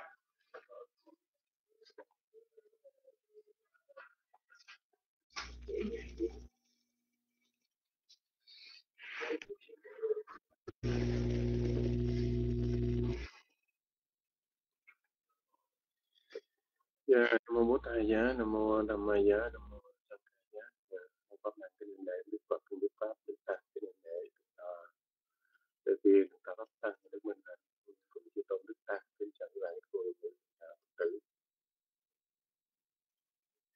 Nói ở đây thì chúng ta thấy ở trong cái bài kinh ờ, trường bộ thì Đức Phật này cũng đã định, định nghĩa ờ, về cái từ là bà la môn từ cái từ tâm má ná. Và ngài nói về cái ờ, cái bài kinh khởi khởi khởi bổn nhân thế đó. À, thì ngài cũng có nói về cái, cái ý nghĩa của bà la môn cái từ bà la môn là những người từ cái, cái từ cha ná tâm má ná có nghĩa là người thích tu thiền. À, và thường thường thì quý vị biết cái người mà tu thiền đó, thì cái người này sẽ đạt được à, như là thiên nhãn minh à, thiên nhĩ minh ha tâm minh à, túc mạng minh về à, thần thông minh à, à, thần túc minh. Thì những cái à, cái cái khả năng mà quý đã đạt được như vậy thì ý nghĩa của từ ba la môn đó là ý nghĩa cao quý và khi mà đức phật ngài định nghĩa cái từ bà la môn đó thì ngài nói khi mà ai nói các ngươi uh, và các ngươi tự ờ, tự nhận mình là sa môn samana uh, ờ, hoặc là cái uh, bà la môn là ramana đó thì các ngươi phải hiểu rằng cái cái từ đó đó để chỉ cho bởi chúng ta biết cái từ ngữ chỉ cho một cái cái ý nghĩa mà thường thường chúng ta gọi là bốn vô ngại giải đó. Cái từ vô ngại thì có pháp vô ngại và nghĩa vô ngại. Thì cái cái cái từ bà la môn á, Ờ, hay là cái từ uh, sa môn đó. Ở bên nó chỉ cho một cái ý nghĩa. Ví dụ chúng ta thấy cái từ sa môn đó là ý nghĩa là bố ma phát ác thì thức thực. Ừ. thì cái từ bà la môn mà trong cái ờ, bài kinh trường bộ mà được hỏi về một cái vị thanh niên bà la môn ngày dạy về nếu mà bỏ một cái một cái ý nghĩa trong bà la môn nó thường thường là nói là một cái người đẹp trai một cái người quyết thống bảy đời, không có không có pha trộn. Và một người thì thông ờ, thông ba tập Veda một người thì thông ngữ nguyên ờ, ngữ nguyên, và một cái người thì ờ, thông thông thông thái cái cách cái đàn. Rồi cái cái cái đời sống có giới hạnh đời sống có trí tuệ. Thì khi mà Đức Phật ngày ngày hỏi cái vị Bà La Môn này vị Bà La Môn này nói rằng có thể bỏ cái, à, cái người đẹp trai được. À, nghĩa là người đó có cái, cái tướng hảo đó. À, thì bỏ vì cái, à, cái đẹp trai hay là cái quyết thống bảy đời. Nó cũng không liên quan gì cuối cùng nó còn lại hai điều. À, còn về à, về cái, cái giới hạnh và cái trí tuệ. Thì Đức Phật hỏi vị đó có thể bỏ được không? Thì vị đó nó không thể bỏ được. Thì khi mà Đức Phật ngài nói vị sa môn cũng vậy thành tựu được hai điều. Đó là minh hạnh ở đây là cái hạnh đức. À, không có giới hạnh. Người đó kiểu dục kia túc người đó thích sống độc cư à, người đó nó có nghĩa là thích, à, thích sống độc cư rồi người đó cái trí tuệ là đa văn quảng kiến học rộng hiểu nhiều dễ dàng chứng được bốn thiện sắc giới bốn thiện vô sắc giới cũng như là về đạo quả niết bàn. À, thì cái, cái cái cái đời sống có trí tuệ là cái đời sống mà nghĩa là thì chúng ta thấy rằng cái, cái đạo trí và cái quả trí đó, để trí để thấy được cái cái, cái thanh tịnh niết bàn là cái, cái đó là cái rất là quan trọng cái mục đích cuối cùng của đạo Phật. À, nên Đức Phật này à, cũng nói ở trong đạo Phật đó thì có hai điều à, hai điều minh và hạnh nó giống như là một con chim mà có hai cái cánh vậy. Một con chim không thể có một cái cánh mà nó bay được. À, thì cái đời sống của vị sa môn thành tựu được minh và hạnh nó giống như con chim có hai cái cánh và chính hai cái cánh đó đưa cái đời sống của con chim nó bay lên được nó cao thượng nó cao hơn là những cái loài khác. À, cái loài khác thì đi đứng khó khăn như con chim đó, thì nó bay lượn trong hư không rất là dễ dàng. Nhất là như là chim hồng hạc là, là những cái loại chim đức phật ví, ví dụ nó bay nhanh nhẹn. Thì cũng như vậy khi mình nói đến uh, Đức Phật nói là khi ai hỏi ngươi tự nhận mình là sa môn hay là bà, bà la môn ai ai hỏi mà mình tự nhận như vậy đó mình phải biết rằng mình là một cái người nỗ lực nỗ, nỗ lực để đoạn trừ những cái phiền não luân hồi. À, đoạn trừ phiền não luân hồi. Vì những phiền não cấu quế đó đó làm cho thân và tâm nó uh, nó bị ô nhiễm. Bởi vì cái tâm nó ô nhiễm là do tham ác sân ác và tà kiến ác. Cái thân nó ô nhiễm là do sắc sanh trộm cắp tạp dâm. À, như vậy thì cái khẩu nó ô nhiễm là lo do những cái lời nói liên quan đến cái lời nói mà liên quan đến những vấn đề đó. À, thì như vậy nên Đức Phật ngài mới dạy cái cái cái vị mà tự nhận sa môn sa môn đó, thì mình hiểu rằng cái đời sống sa môn là cái đời sống uh, trong trong trong sạch và cao thượng. Uh, cái đời sống sa môn. Hoặc là đời sống bà la môn là người ta coi ờ, bốn cái giai cốc đó, thì giai cốc bà la môn cao quý nhất. Thì Đức Phật người nói cái sự cao quý ừ, của của Đức Phật mà nói về Bà La Môn nó không giống như cái dây cái cái từ Bà La Môn mà người ta nói định nghĩa trong bốn giai cấp. Mà ngài định nghĩa cái Bà La Môn trong cái cái cái, cái, cái ý nghĩa cao cao thượng đó là Bà La Môn đó là không có không có những cái cấu quế tiền não như là những cái người mà, mà, mà còn cấu quế tiền não. Thì Đức Phật ngài định nghĩa cao quý là chỗ đó còn ngài nói về cái giai cấp giai cấp sát đế lị giai cấp à, thương gia giai cấp thủ đà hay là giai cấp sát đế lị bà la môn đó thì ngài nói về những cái ờ, những cái sắc pháp đó thì ai cũng mắt đó. Uh, máu cũng là máu đỏ da thì da nó không khác nhau trên tóc lông móng răng da bụng lưng uh, nhưng mà nó khác nhau trên cái ờ, cái đời sống tốt hay là xấu à, người nào cũng có thể làm người tốt được và người nào cũng có thể làm người xấu được. À, khi người đó có cái tâm xấu có nghĩa là cái tâm tham á, à, thì gọi là xấu tâm sân gọi là xấu tâm si gọi là xấu xấu tâm phôn trầm thị miên trạo hối ngã mạng hạ kiến à, và là sân tật lẫn hối là những cái những cái những cái, những cái trạng thái bất thiện pháp thì ngài nói đó mới gọi là xấu. Chỉ cái ý nghĩa xấu là đó là bệnh hoạn không khôn khéo là không khôn ngoan. Một người có hành động như vậy là bệnh hoạn à, một cái người có cái cái tâm mà hành động như vậy là không khôn khéo hoặc là không khôn ngoan hoặc là lỗi lầm cho là quả khổ. Ngài định nghĩa cái pháp như vậy. Nên khi mà ngài nói rằng à, người nào mà có cái pháp cao thượng thì người đó được gọi là cao thượng. Vì cái pháp cao thượng đồng nghĩa với cái pháp của bậc thánh.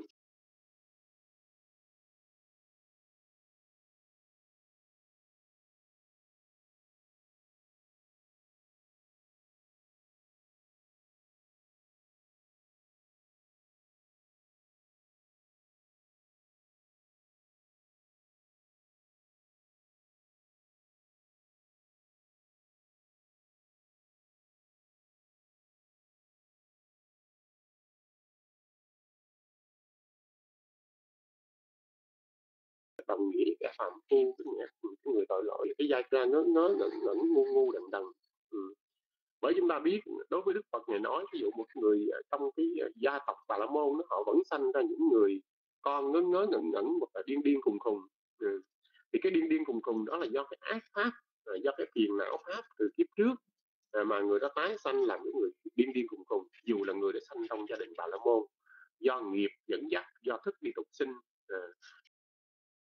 do nõn bào của mẹ tinh trùng của cha và thời kỳ của người phụ nữ người bà la môn ngớ ngớ ngẩn ngẩn điên điên cùng cùng thì như vậy đức phật ngài không nói cái đó là cao quý và ngài nói rằng một người mà có nghĩa có cái tâm cao quý đó thì có nghĩa là do cái tâm thiện hợp trí à, đưa ra cái tâm quả đi tái sanh vào thai bào do cái nghiệp thiện. À, tuy rằng người đã sanh vào cái giai à, giữa cái thai cái thai bào của người ta vì cái tâm tục sinh làm người tâm nhân nên người được sanh làm người thông minh mẫn tuệ người đó sanh ra làm người.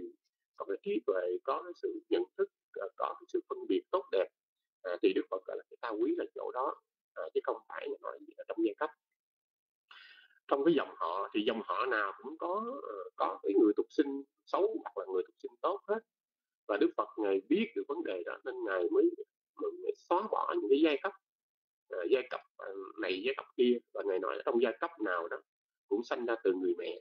Ừ, bởi vì chúng ta thấy đức phật ngài nói rằng ngài trả lời cho bà la môn là phụ nữ là tạo hóa nhân sắc à, phụ nữ là sanh ra là người kế thừa từ ờ, cái thai sanh đó tới thai sanh xa xa xa xa, xa. Muôn thở là như vậy. À, đó là một cái một cái định lực một cái lý do má đó là cái uh, vô ni lý do má là cái sự tái sanh. À, tái sanh theo cái thai sanh. À, thì người nào mang thai à, người phụ nữ bà la môn cũng mang thai người phụ nữ sắc lị cũng mang thai người phụ nữ chuyên đà la cũng mang thai người, ờ, người phụ nữ uh, thủ đà la cũng cũng mang thai.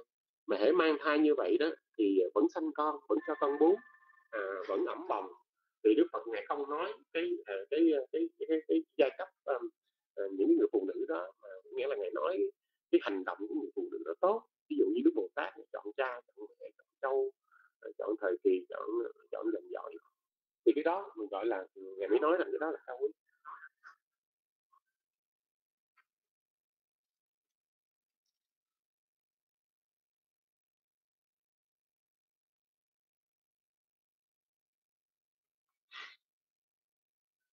Thì trong nghĩa bà la môn á, thì chúng ta vào trong kinh pháp cú chúng ta thấy cái phẩm bà la môn đó à, thì chúng ta cũng thấy đức phật này nói về rất là nhiều uh, về cái tinh thần mà bà la môn.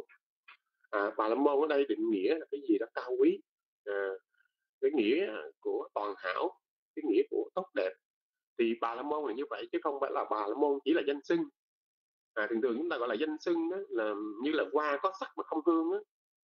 nói lành mà chẳng đảm đương làm lành đó như qua có sắc thêm hương nó lành mà lại đảm đương làm lành thì cái người đó giai cấp tự, tự xưng là bà la môn nhưng mà người đó không có cái hành động tốt đẹp của bà la môn. À, cái hành động mà gọi là phi thú tính à, phi phi nhân loại có nghĩa là hành động như cầm thú đó thì đức phật ngài không gọi cái đó là bà la môn. Mà ngày, ngài gọi bà la môn trong cái giai cấp à, đó nhưng mà phải hành động tốt. Cái hành động cao thường cái hành động gọi là quân tử cái hành động mà gọi là một gọi là đại nhân á, thì đức phật mới gọi là bà la môn. À. như vậy từ cái cái bốn cái giai cấp đó đó thì đức phật ngày xóa bỏ ở trên cái à, cái, cái giai cấp. Và ngày nói giai cấp nào đó à, máu cũng đỏ nước mắt cũng mặn giai cấp nào cũng có thể xuống sông hàng tắm để sạch sẽ hết. Người bà la môn xuống sông tắm cũng sạch sẽ mà người sắc đế lị tắm cũng sạch sẽ người tủ đà la người chiên đà la xuống tắm sông cũng tắm sạch sẽ nước nó làm cho con người mát mẻ. À, thì không có nghĩa là bà la môn xuống tắm được mát mẻ sạch sẽ. Rồi cái người thủ đà la xuống là, tắm nó, nó, nó không mát. Hoặc là lửa đó lửa người đà bà la môn đốt đó, thì lên lửa nó cũng nóng. Nhưng mà người sắc đế lị đốt lửa nó cũng nóng người chiên đà la đốt lửa cũng nóng là người ờ, người sắc đế lị đốt lửa cũng nóng. Lửa nó có thuộc tính nóng à, thuộc tính của nó là như vậy. Thì các cái giai cấp thì đốt lửa lên lửa cũng cũng đều là có sức nóng hết không phải vì bà la môn đốt đốt lửa mới nóng mà người chiên đà la đốt lửa không nóng. À, nên đức phật ngài không có nói tên cái danh xưng giai cấp mà ngài chỉ nói đến cái pháp nghĩa à, cái nghĩa cái pháp cao thượng của dòng bà la môn từ cái nghĩa từ bà la môn. À, như vậy thì ở trong cái à, cái nghĩa cái từ bà la môn đó thì được đức phật ngài nói và ngài định nghĩa như vậy. Nên cái câu hỏi của chúng ta tuyệt quyền thì chúng tôi xin trả lời như vậy. Bây giờ có lẽ là ở trong lớp học hiện giờ thì chỉ có ba ba vị à, mà ba vị hiện giờ đó thì cũng chỉ xài được có một cái, à, cái nít mà thôi. À, cái nít đó là nít thì tôi pháp đăng bây giờ đó thì chúng tôi xin à, xin đặt ra một cái câu hỏi uh, câu hỏi uh, ở trong cái bài học này. Ở trong cái ý nghĩa mà gọi là tuệ thâm sâu đó thì thường thường mình à, mình nghe nói là uh, mình mình nghe nói là giới định tuệ thôi mà ở đây có nghĩa là cái từ gọi là tuệ thâm sâu. Thì cái tuệ thâm sâu đó được chỉ cho cái cái mức độ nào ờ, được nói đến cái cái cái, cái phương diện nào mà được gọi là tuệ thâm sâu. À, vì ở trong cái bài học này chúng ta thấy có cái từ gọi là một người mà tuệ thâm sâu biết được đạo phi đạo à, và vượt thoát ra cái, cái sự liên hệ đối với người đại nhân thì bây giờ muốn hỏi thì thoại về quyền đó thì tuệ thâm sâu ở trong cái cái bài học của cái, cái hai cái đoạn mà trình bày tăng giảng đó thì muốn nói đến ờ, uh, thường thường thì mọi người phật tử ai cũng hiểu rằng giới định tuệ mà cái tuệ thâm sâu thì nó khác với cái tuệ cái tuệ giới định tuệ như thế nào. Ừ. à, có ờ, có tuệ thâm sâu có trí đó thì uh, thỉnh từng đọc về quyền ờ, nói về cái, cái tuệ thâm sâu có trí dạ.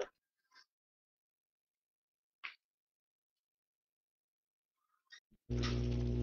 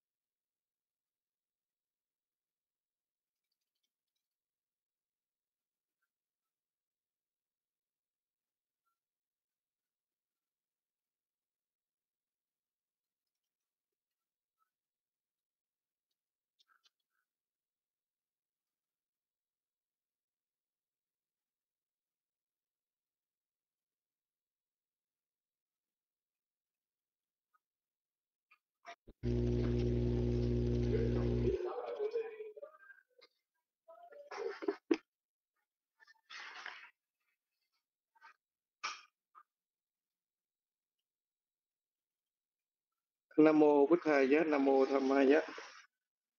Nam mô Sang Khai Giá. Dạ thưa để chúng nghe rõ không à?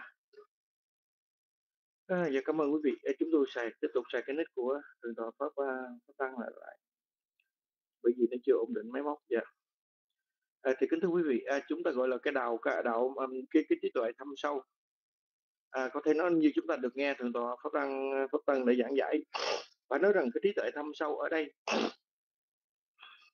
là trí tuệ mà của của bậc đã thành tu cái đạo quả giải thoát hay là giải thoát luân hồi tức là tâm tứ đạo hiệp với tâm tâm quả siêu thế từ đó là có một đó chính là cái cái, cái tuệ thâm sâu nằm ở tại cái đó mà thiện xấu chúng ta gọi là đạo phi đạo. Nha yeah. tức là nó vượt ngoài cái à, cái cái cái cái sự um, bình thường. Cái cái cái cái thâm sâu này gọi là cái găm phía đá dạ găm phía đá gọi là cái cái sự thâm sâu đó nó chỉ cho cái cái trí tuệ mà sát trừ phiền não cái, cái trí tuệ của đạo cao sát trừ phiền não. Cái trí tuệ của à, cắt đứt dòng sanh tử lương hồi đau khổ thì không còn cái nhân lương hồi không còn cái cái ái trầm luân. Thì diệt được ái trầm luân thì có thể nói rằng vị tam quả đã diệt nhưng điều mà có thể nói rằng là à, để để mà một cách rốt ráo một cách tốt đẹp nhất tức là phải chính là tứ đạo diệt tứ đạo sát trừ. Mà tứ đạo sát trừ ở đây tức là một sát na đạo nó, nó hiện lên là qua một sát na sát na quả. Cho nên vậy là trí tuệ này nó nó cao vút và sanh tử luân hồi được chặn đứng tất cả lại.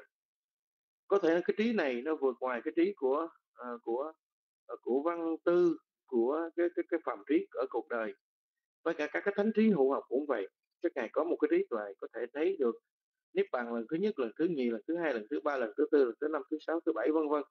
Nhưng có thể nói rằng là lần cuối cùng đó chính là lần thứ 8 lần thứ bảy qua lần thứ 8 tức là theo từng trí tuệ của từng của từng cấp của của của thánh đạo từng cấp của thánh quả. Hãy đạo sơ đạo xuất hiện thì nhị à, sơ đạo thì phải là có sơ quả. Điều đó, đó nó nó sanh khởi những cái kiết sử lộ à. Ờ, nó có như là cái tham tự nhiên nó nó có mặt thì chúng ta cũng biết từ những cái thọ nó duyên cho ái đó theo, theo cái giáo lý thập nhị duyên đó thọ duyên cho ái. Đó là do nhãn thọ duyên cho sắc ái là những cái gì mắt nhìn thấy mà chúng ta ưa thích. Mẹ ái có thì chúng ta sẽ có dục thủ. À, dục thủ đó là nó, nó bắt đầu nó sinh ra cái cái dục thủ. Là chúng ta chúng ta không quên được cái hình bóng đó hay là chúng ta ôm ấp cột chặt vào đó. Từ cái lỗ tai chúng ta nghe những cái âm thanh từ cái cái cái cái, cái nhĩ thọ nó duyên cho tinh ái. À, là những cái, cái những cái tiếng nói những cái tiếng nói. À, ở đây thì những cái tiếng nói hẹn hò những cái tiếng nói uh, ước quyền những cái nói tiếng nói mà tỷ chung đó. Nói chung với những cái tiếng nói đó nó làm cho tinh ái được uh, còn ờ, được phát sanh và cái cái cái cái, cái dục thủ được, được có mặt. Dục thủ là chúng ta ưa thích những cái lời nói như vậy. Chúng ta không có thể tách rời ra được thì thì từ những cái ờ, những cái ờ, những cái phiền não sanh khởi như vậy đó thì cái người mà tu tập đó có cái trí tuệ cái trí tuệ mà chúng ta gọi là tuệ tu đó à, tuệ, tuệ tu đó thì người đó đang tu tập để sát trừ những cái phiền não mà chúng ta gọi là lục căn thu thúc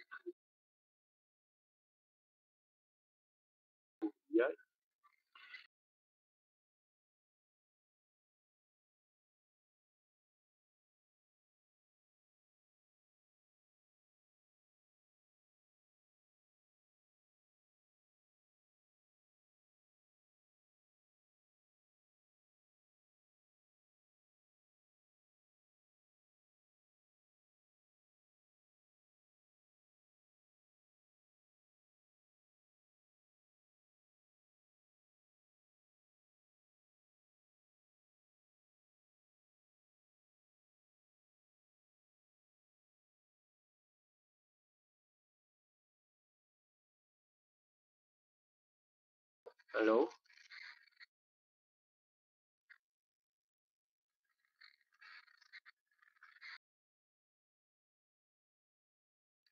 thì ờ, vì chúng ta tu tập mà chúng ta ờ, thấy rõ cái ờ, cái, bởi do cái sự không tác ý à, do cái sự không thu thúc à, do không có minh,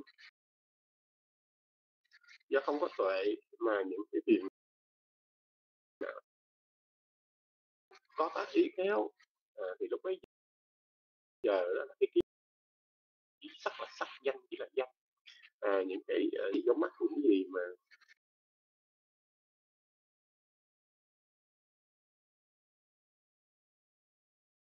ờ, mà thần kinh nhãn mình trả gì cho nó à, thức nên không có nhận thức được rất là đẹp. Những cái lời than thở của cái người mà than thở đối với một người người yêu hay là người chồng, người cha mà người ta than khóc thì cái người chết có lỗ tai nhưng cũng không.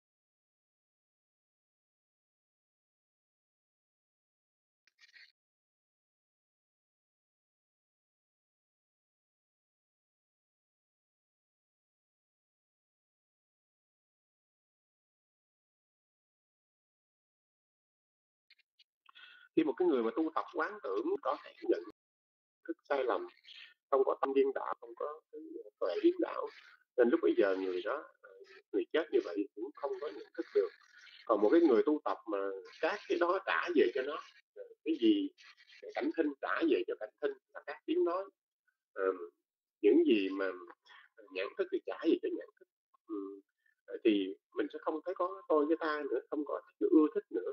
Mà cái nào chỉ là cái đó thôi thì cuối cùng đó là chúng ta quán thấy uh, như là nhãn nhĩ tỷ thiệt ờ, thân khi ờ, sắc tinh hương khí vị xúc ờ, việc thọ tưởng hành thức việc phục như thị đó. Ở trong cái bài kinh bát nhã thì nó cũng có những cái lý pháp mà mình nói đến đến những cái gì mà nội xứ những gì ngoại xứ. Mình phân biệt từ thuốc từ cái từ cái như vậy chúng ta không tìm thấy. À, cũng như chúng ta nói cái gia chủ gia chủ ý Ishikawa đó có nói với uh, khi các vị tỷ tu nói uh, nói với nhau đó con bò trắng nó là hệ lụy con bò đen hay là con bò đen nó là hệ lụy ờ, con bò trắng. À, ví dụ con bò trắng với, với, ờ, với con bò đen đó được nói như là cái thần kinh nhãn và cái cảnh sắc. À, thì cạnh thần kinh nhãn nó hệ lụy cảnh sắc hay là cảnh sắc nó hệ lụy thần kinh nhãn.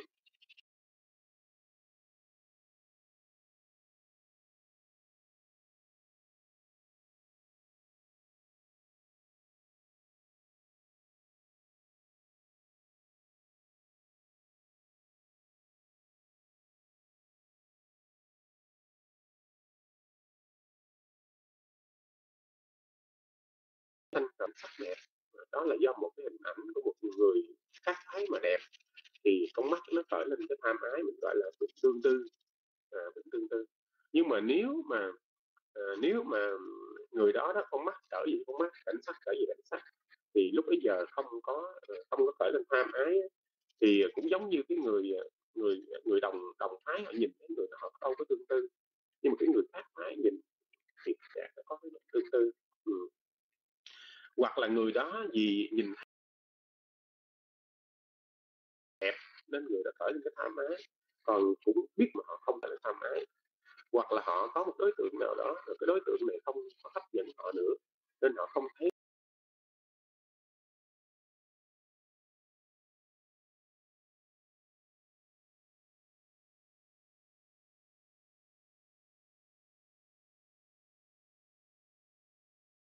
có cái tham ái. Ờ, họ cũng nhìn như vậy nhưng mà rồi ờ, à, cũng xông thức à, rồi tiếp thâu thẩm tấn đón định. À, từ cái đón định đó là hai ý môn. À, thì cái, cái thai ý ở đây á, mà chúng ta gọi là không khéo tác ý á, thì cái tham ái cái động động lực tham nó sẽ có mặt ở chỗ chỗ này. À, nó sẽ sanh lên bảy cái động lực à, mà do cái tâm tham thì có động lực tham nó có mặt.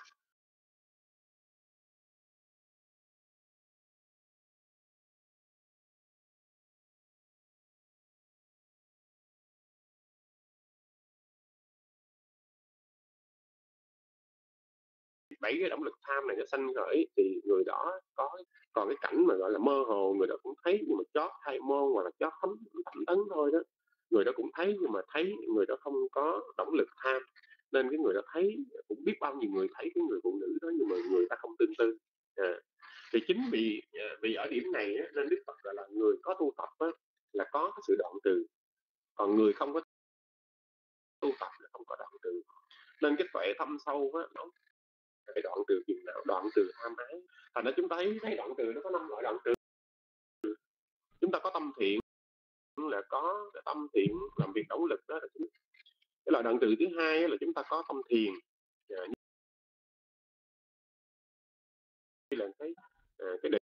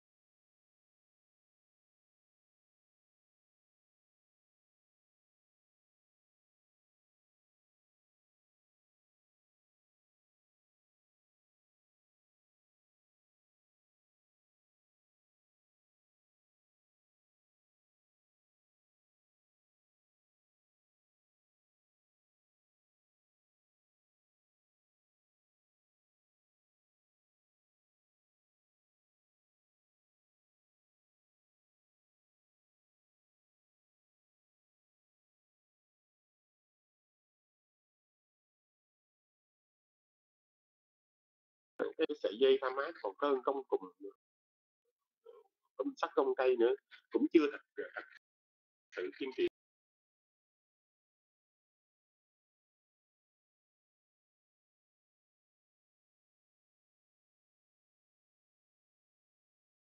Biết ái thế gian mới là chuyện tới tận luân hồi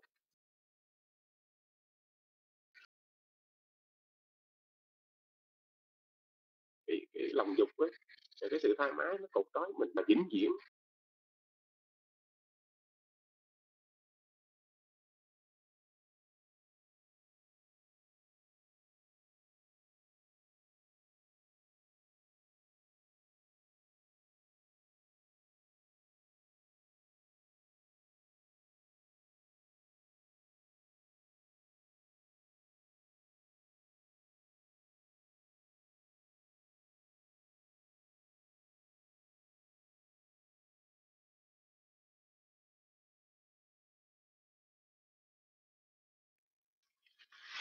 Alo à thành ra thành ra khi mà nói đến cái lời dạy của đức phật đó, thì đức phật ngày dạy cái tuệ cái tuệ mà từ thấp lên cao đó là năm cái loại tuệ mà chúng tôi nói tuệ ở trong tâm thiện. Đó là cái tuệ ờ, cái tuệ ờ, tu tập mà mình gọi là cái ờ, tuệ có cái sự tu tập. À, để các phiền não tham ái nó không sanh khởi khởi lên. Cái tuệ thứ hai là cái tuệ trong thiền định à, là cái tuệ mà do cái tâm định nó đè được cái tham dục cái. À, đó là cái loại tuệ thứ hai tuệ trong thiền định. Cái tuệ trong đạo đó là bốn tâm đạo cái tuệ này được gọi là tuệ sắc trừ phiền não. À, rồi cái tuệ ở trong bốn tâm quả sơ quả nhị quả tam quả tứ quả thì cái tuệ này gọi là khinh an à, gọi là đoạn trừ còn cái tuệ gọi là thanh tịnh đoạn trừ đó là cái tuệ của phản kháng phiền não à, đó là cái tuệ phản kháng phiền não đã sát trừ hoàn toàn đó là tuệ của tâm tứ đạo tứ quả. Ừ. như vậy á, thì chúng ta biết á, Đức Phật là cái tuệ thâm sâu á, là muốn nói đến cái tuệ mà phát sanh do cái đường tu tập đúng. Từ cái tuệ gọi là ờ, uh, thay thế cái tuệ cái tuệ áp chế và cái tuệ đoạn từ cái tuệ thanh tịnh rồi cái tuệ ờ, phản kháng à, cái tuệ uh, nan. An à, thì những cái tuệ này sanh khởi cho đến cái tuệ uh, thanh tịnh ờ, tiền nào là cái tuệ đạt được niết bàn. Như vậy chính vì như vậy nên cái tuệ thâm sâu được đức phật ngày giảng à,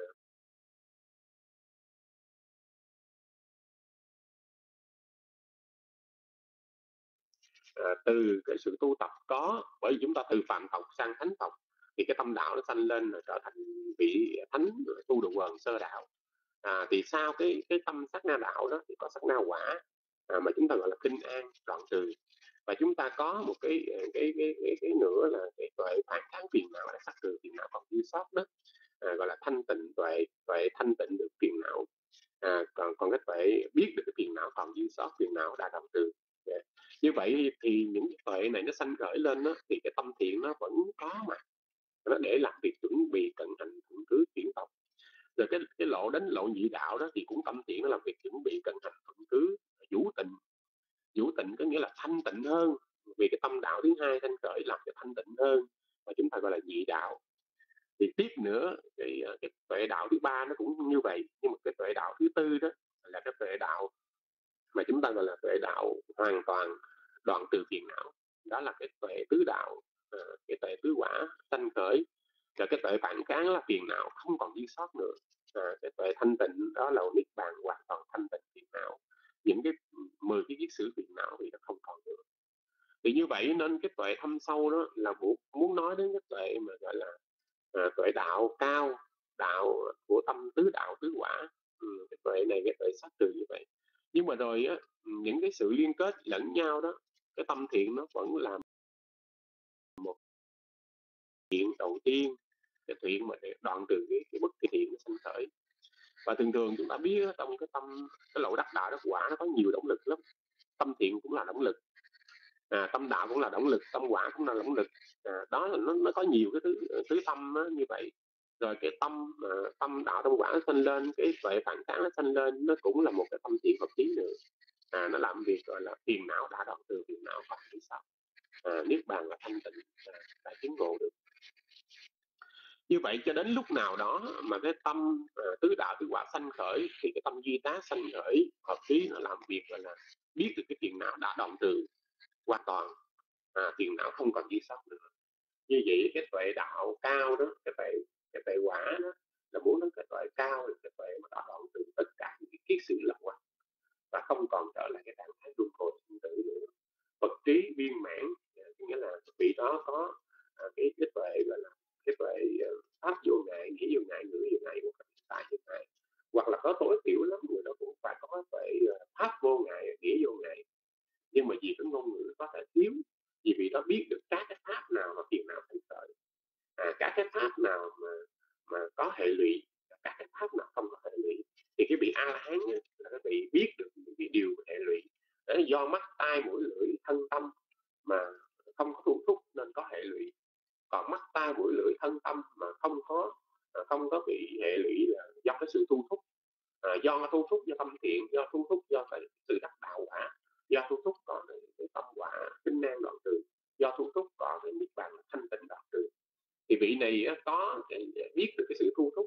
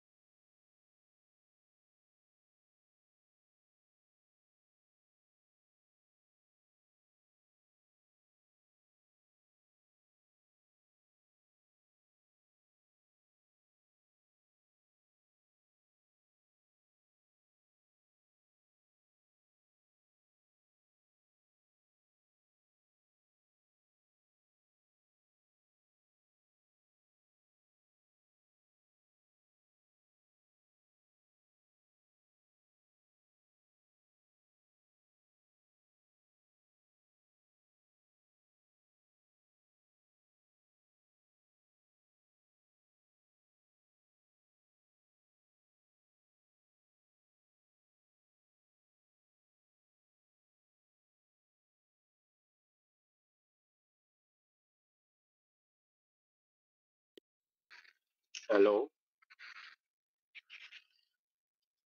Giờ quý vị nghe được rồi phải không? Bây giờ chúng ta chỉ còn hai ba phút nữa là xong rồi. Thành khi nói đến tuệ đó thì ờ, không có phải là trong Phật giáo không có trình bày rõ ràng. À, Phật bạn Phật giáo trình bày rõ ràng. Ví dụ chúng ta nói là tuệ văn đó là tất cả những cái gì chúng ta được nghe mà phát sanh được trí tuệ chúng ta gọi chung gọi là tuệ văn.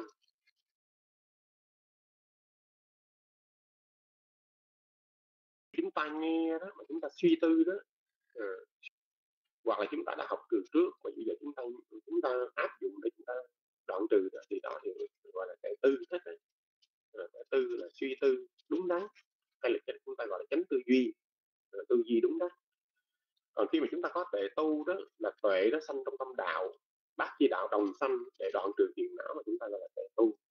À, tu đó là để đoạn trừ cái phiền não à, như vậy á, thì cái tuệ văn và cái tuệ tư đó là cái tuệ à, cũng có à, minh nhưng mà minh hay là trí ở trong cái trí diệt thế.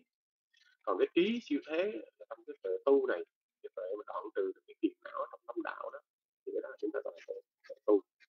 Như vậy á, thì ờ, chúng ta biết được cái trí tuệ được đức phật này nói và chúng ta để chúng ta hiểu cái tuệ mà gọi là phàm tuệ đó là do cái tuệ văn là tuệ tư thôi là suy nghĩ thôi nhưng mà chưa có khả năng chứng ngộ. Ừ còn khi mà chứng ngộ đó thì tâm đạo sanh khởi đó đều gọi là tệ tu hết. Ờ, à, tệ tu có nghĩa là cái cách ờ, cái cách mà tu tập à, để đoạn trừ phiền não nên tâm đạo sanh khởi thì đoạn trừ phiền não tâm quả sanh khởi lên để đoạn trừ. Niết bàn thấy được là thanh tịnh đoạn trừ. Như vậy nhìn chung vào Phật giáo trình bày chúng ta thấy văn tệ tư tệ và tu tệ. À, như vậy đó thì chúng ta thấy mà chúng ta suy nghĩ đúng à, chúng ta nghe hiện tại mà chúng ta suy nghĩ đúng lại đó về sau này đó, thì chúng ta đều gọi là tính tư duy hết đó. gọi là ly dục tư duy vô hận tư duy bất hại tư duy.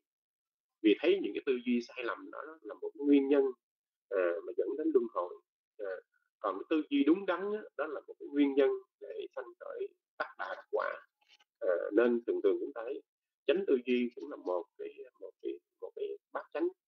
Nhưng mà khi khi bát chỉ đạo đồng sanh trong lâm đạo đó à, thì ở đó nó mới nói rằng chánh tinh tấn mình nâng đỡ à, chánh niệm là ghi nhận chánh định là không tác loạn chánh tư duy là đúng đắn à, chánh kiến là thấu thấu đạt. À, như vậy thì chúng ta nhìn vào pháp chỉ đạo tâm như vậy. Thì bây giờ chúng tôi thấy uh, chỉ còn có một phút nữa thôi à, nên trong cái câu hỏi của thượng tọa tờ quyền chúng tôi cũng trả lời như vậy. Bây giờ chúng ta mời chị chúng lên ờ, lên kết thúc buổi học.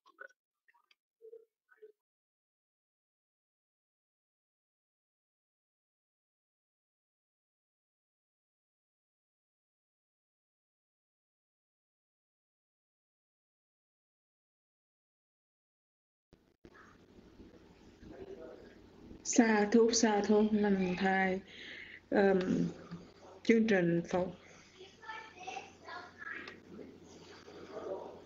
dạ dạ hết rồi á xong rồi á dạ thì con xin à, à, đọc phần hồi hướng. Xa thuốc xa, thuốc lành thai, con tâm như thay mà đại chúng trong rung. Chúng con kính tri ân chư Tôn Đức đã mở lòng bi mẫn giảng dạy Phật Pháp hữu ích cho chúng con, đã hướng dẫn dìu dắt chúng con tiến bước trên hành trình tu tập hầu mong đem lại an lạc trong đời sống và hướng đến đạo quả giải thoát luân hồi. Kính cảm ơn đại chúng đã lắng tâm thanh tịnh thính Pháp. Kính cảm ơn quý chủ nhiệm OFF, sứ ngôn viên đã yểm trợ cho các phần hành trong lớp học được hoàn tất mỹ mãn. Chúng con kính chúc chư tôn đức thân tâm, thường lạc Phật sự viên thành. Kính chúc quý đạo hữu luôn an lạc các tượng trong chánh pháp. Nhiệm màu của Đức tự Phụ Thích Ca Mâu Ni. Để kết thúc chương trình, xin chúng ta nhất tâm hồi hướng, nguyện công đức đã làm, kết dương lành giải thoát. Nguyện hồi hướng chư thiên, hàng thiện thần hộ pháp, nguyện các bậc hữu ân, đồng thừa tư công đức, nguyện chánh pháp trường tồn, chúng sanh cầu giải thoát. Nam mô Bụt Tha dạ. Xin mời Lộc Quỳnh để kinh dùm Lộc Quỳnh ơi. Lộc Quỳnh ơi, Lộc Quỳnh.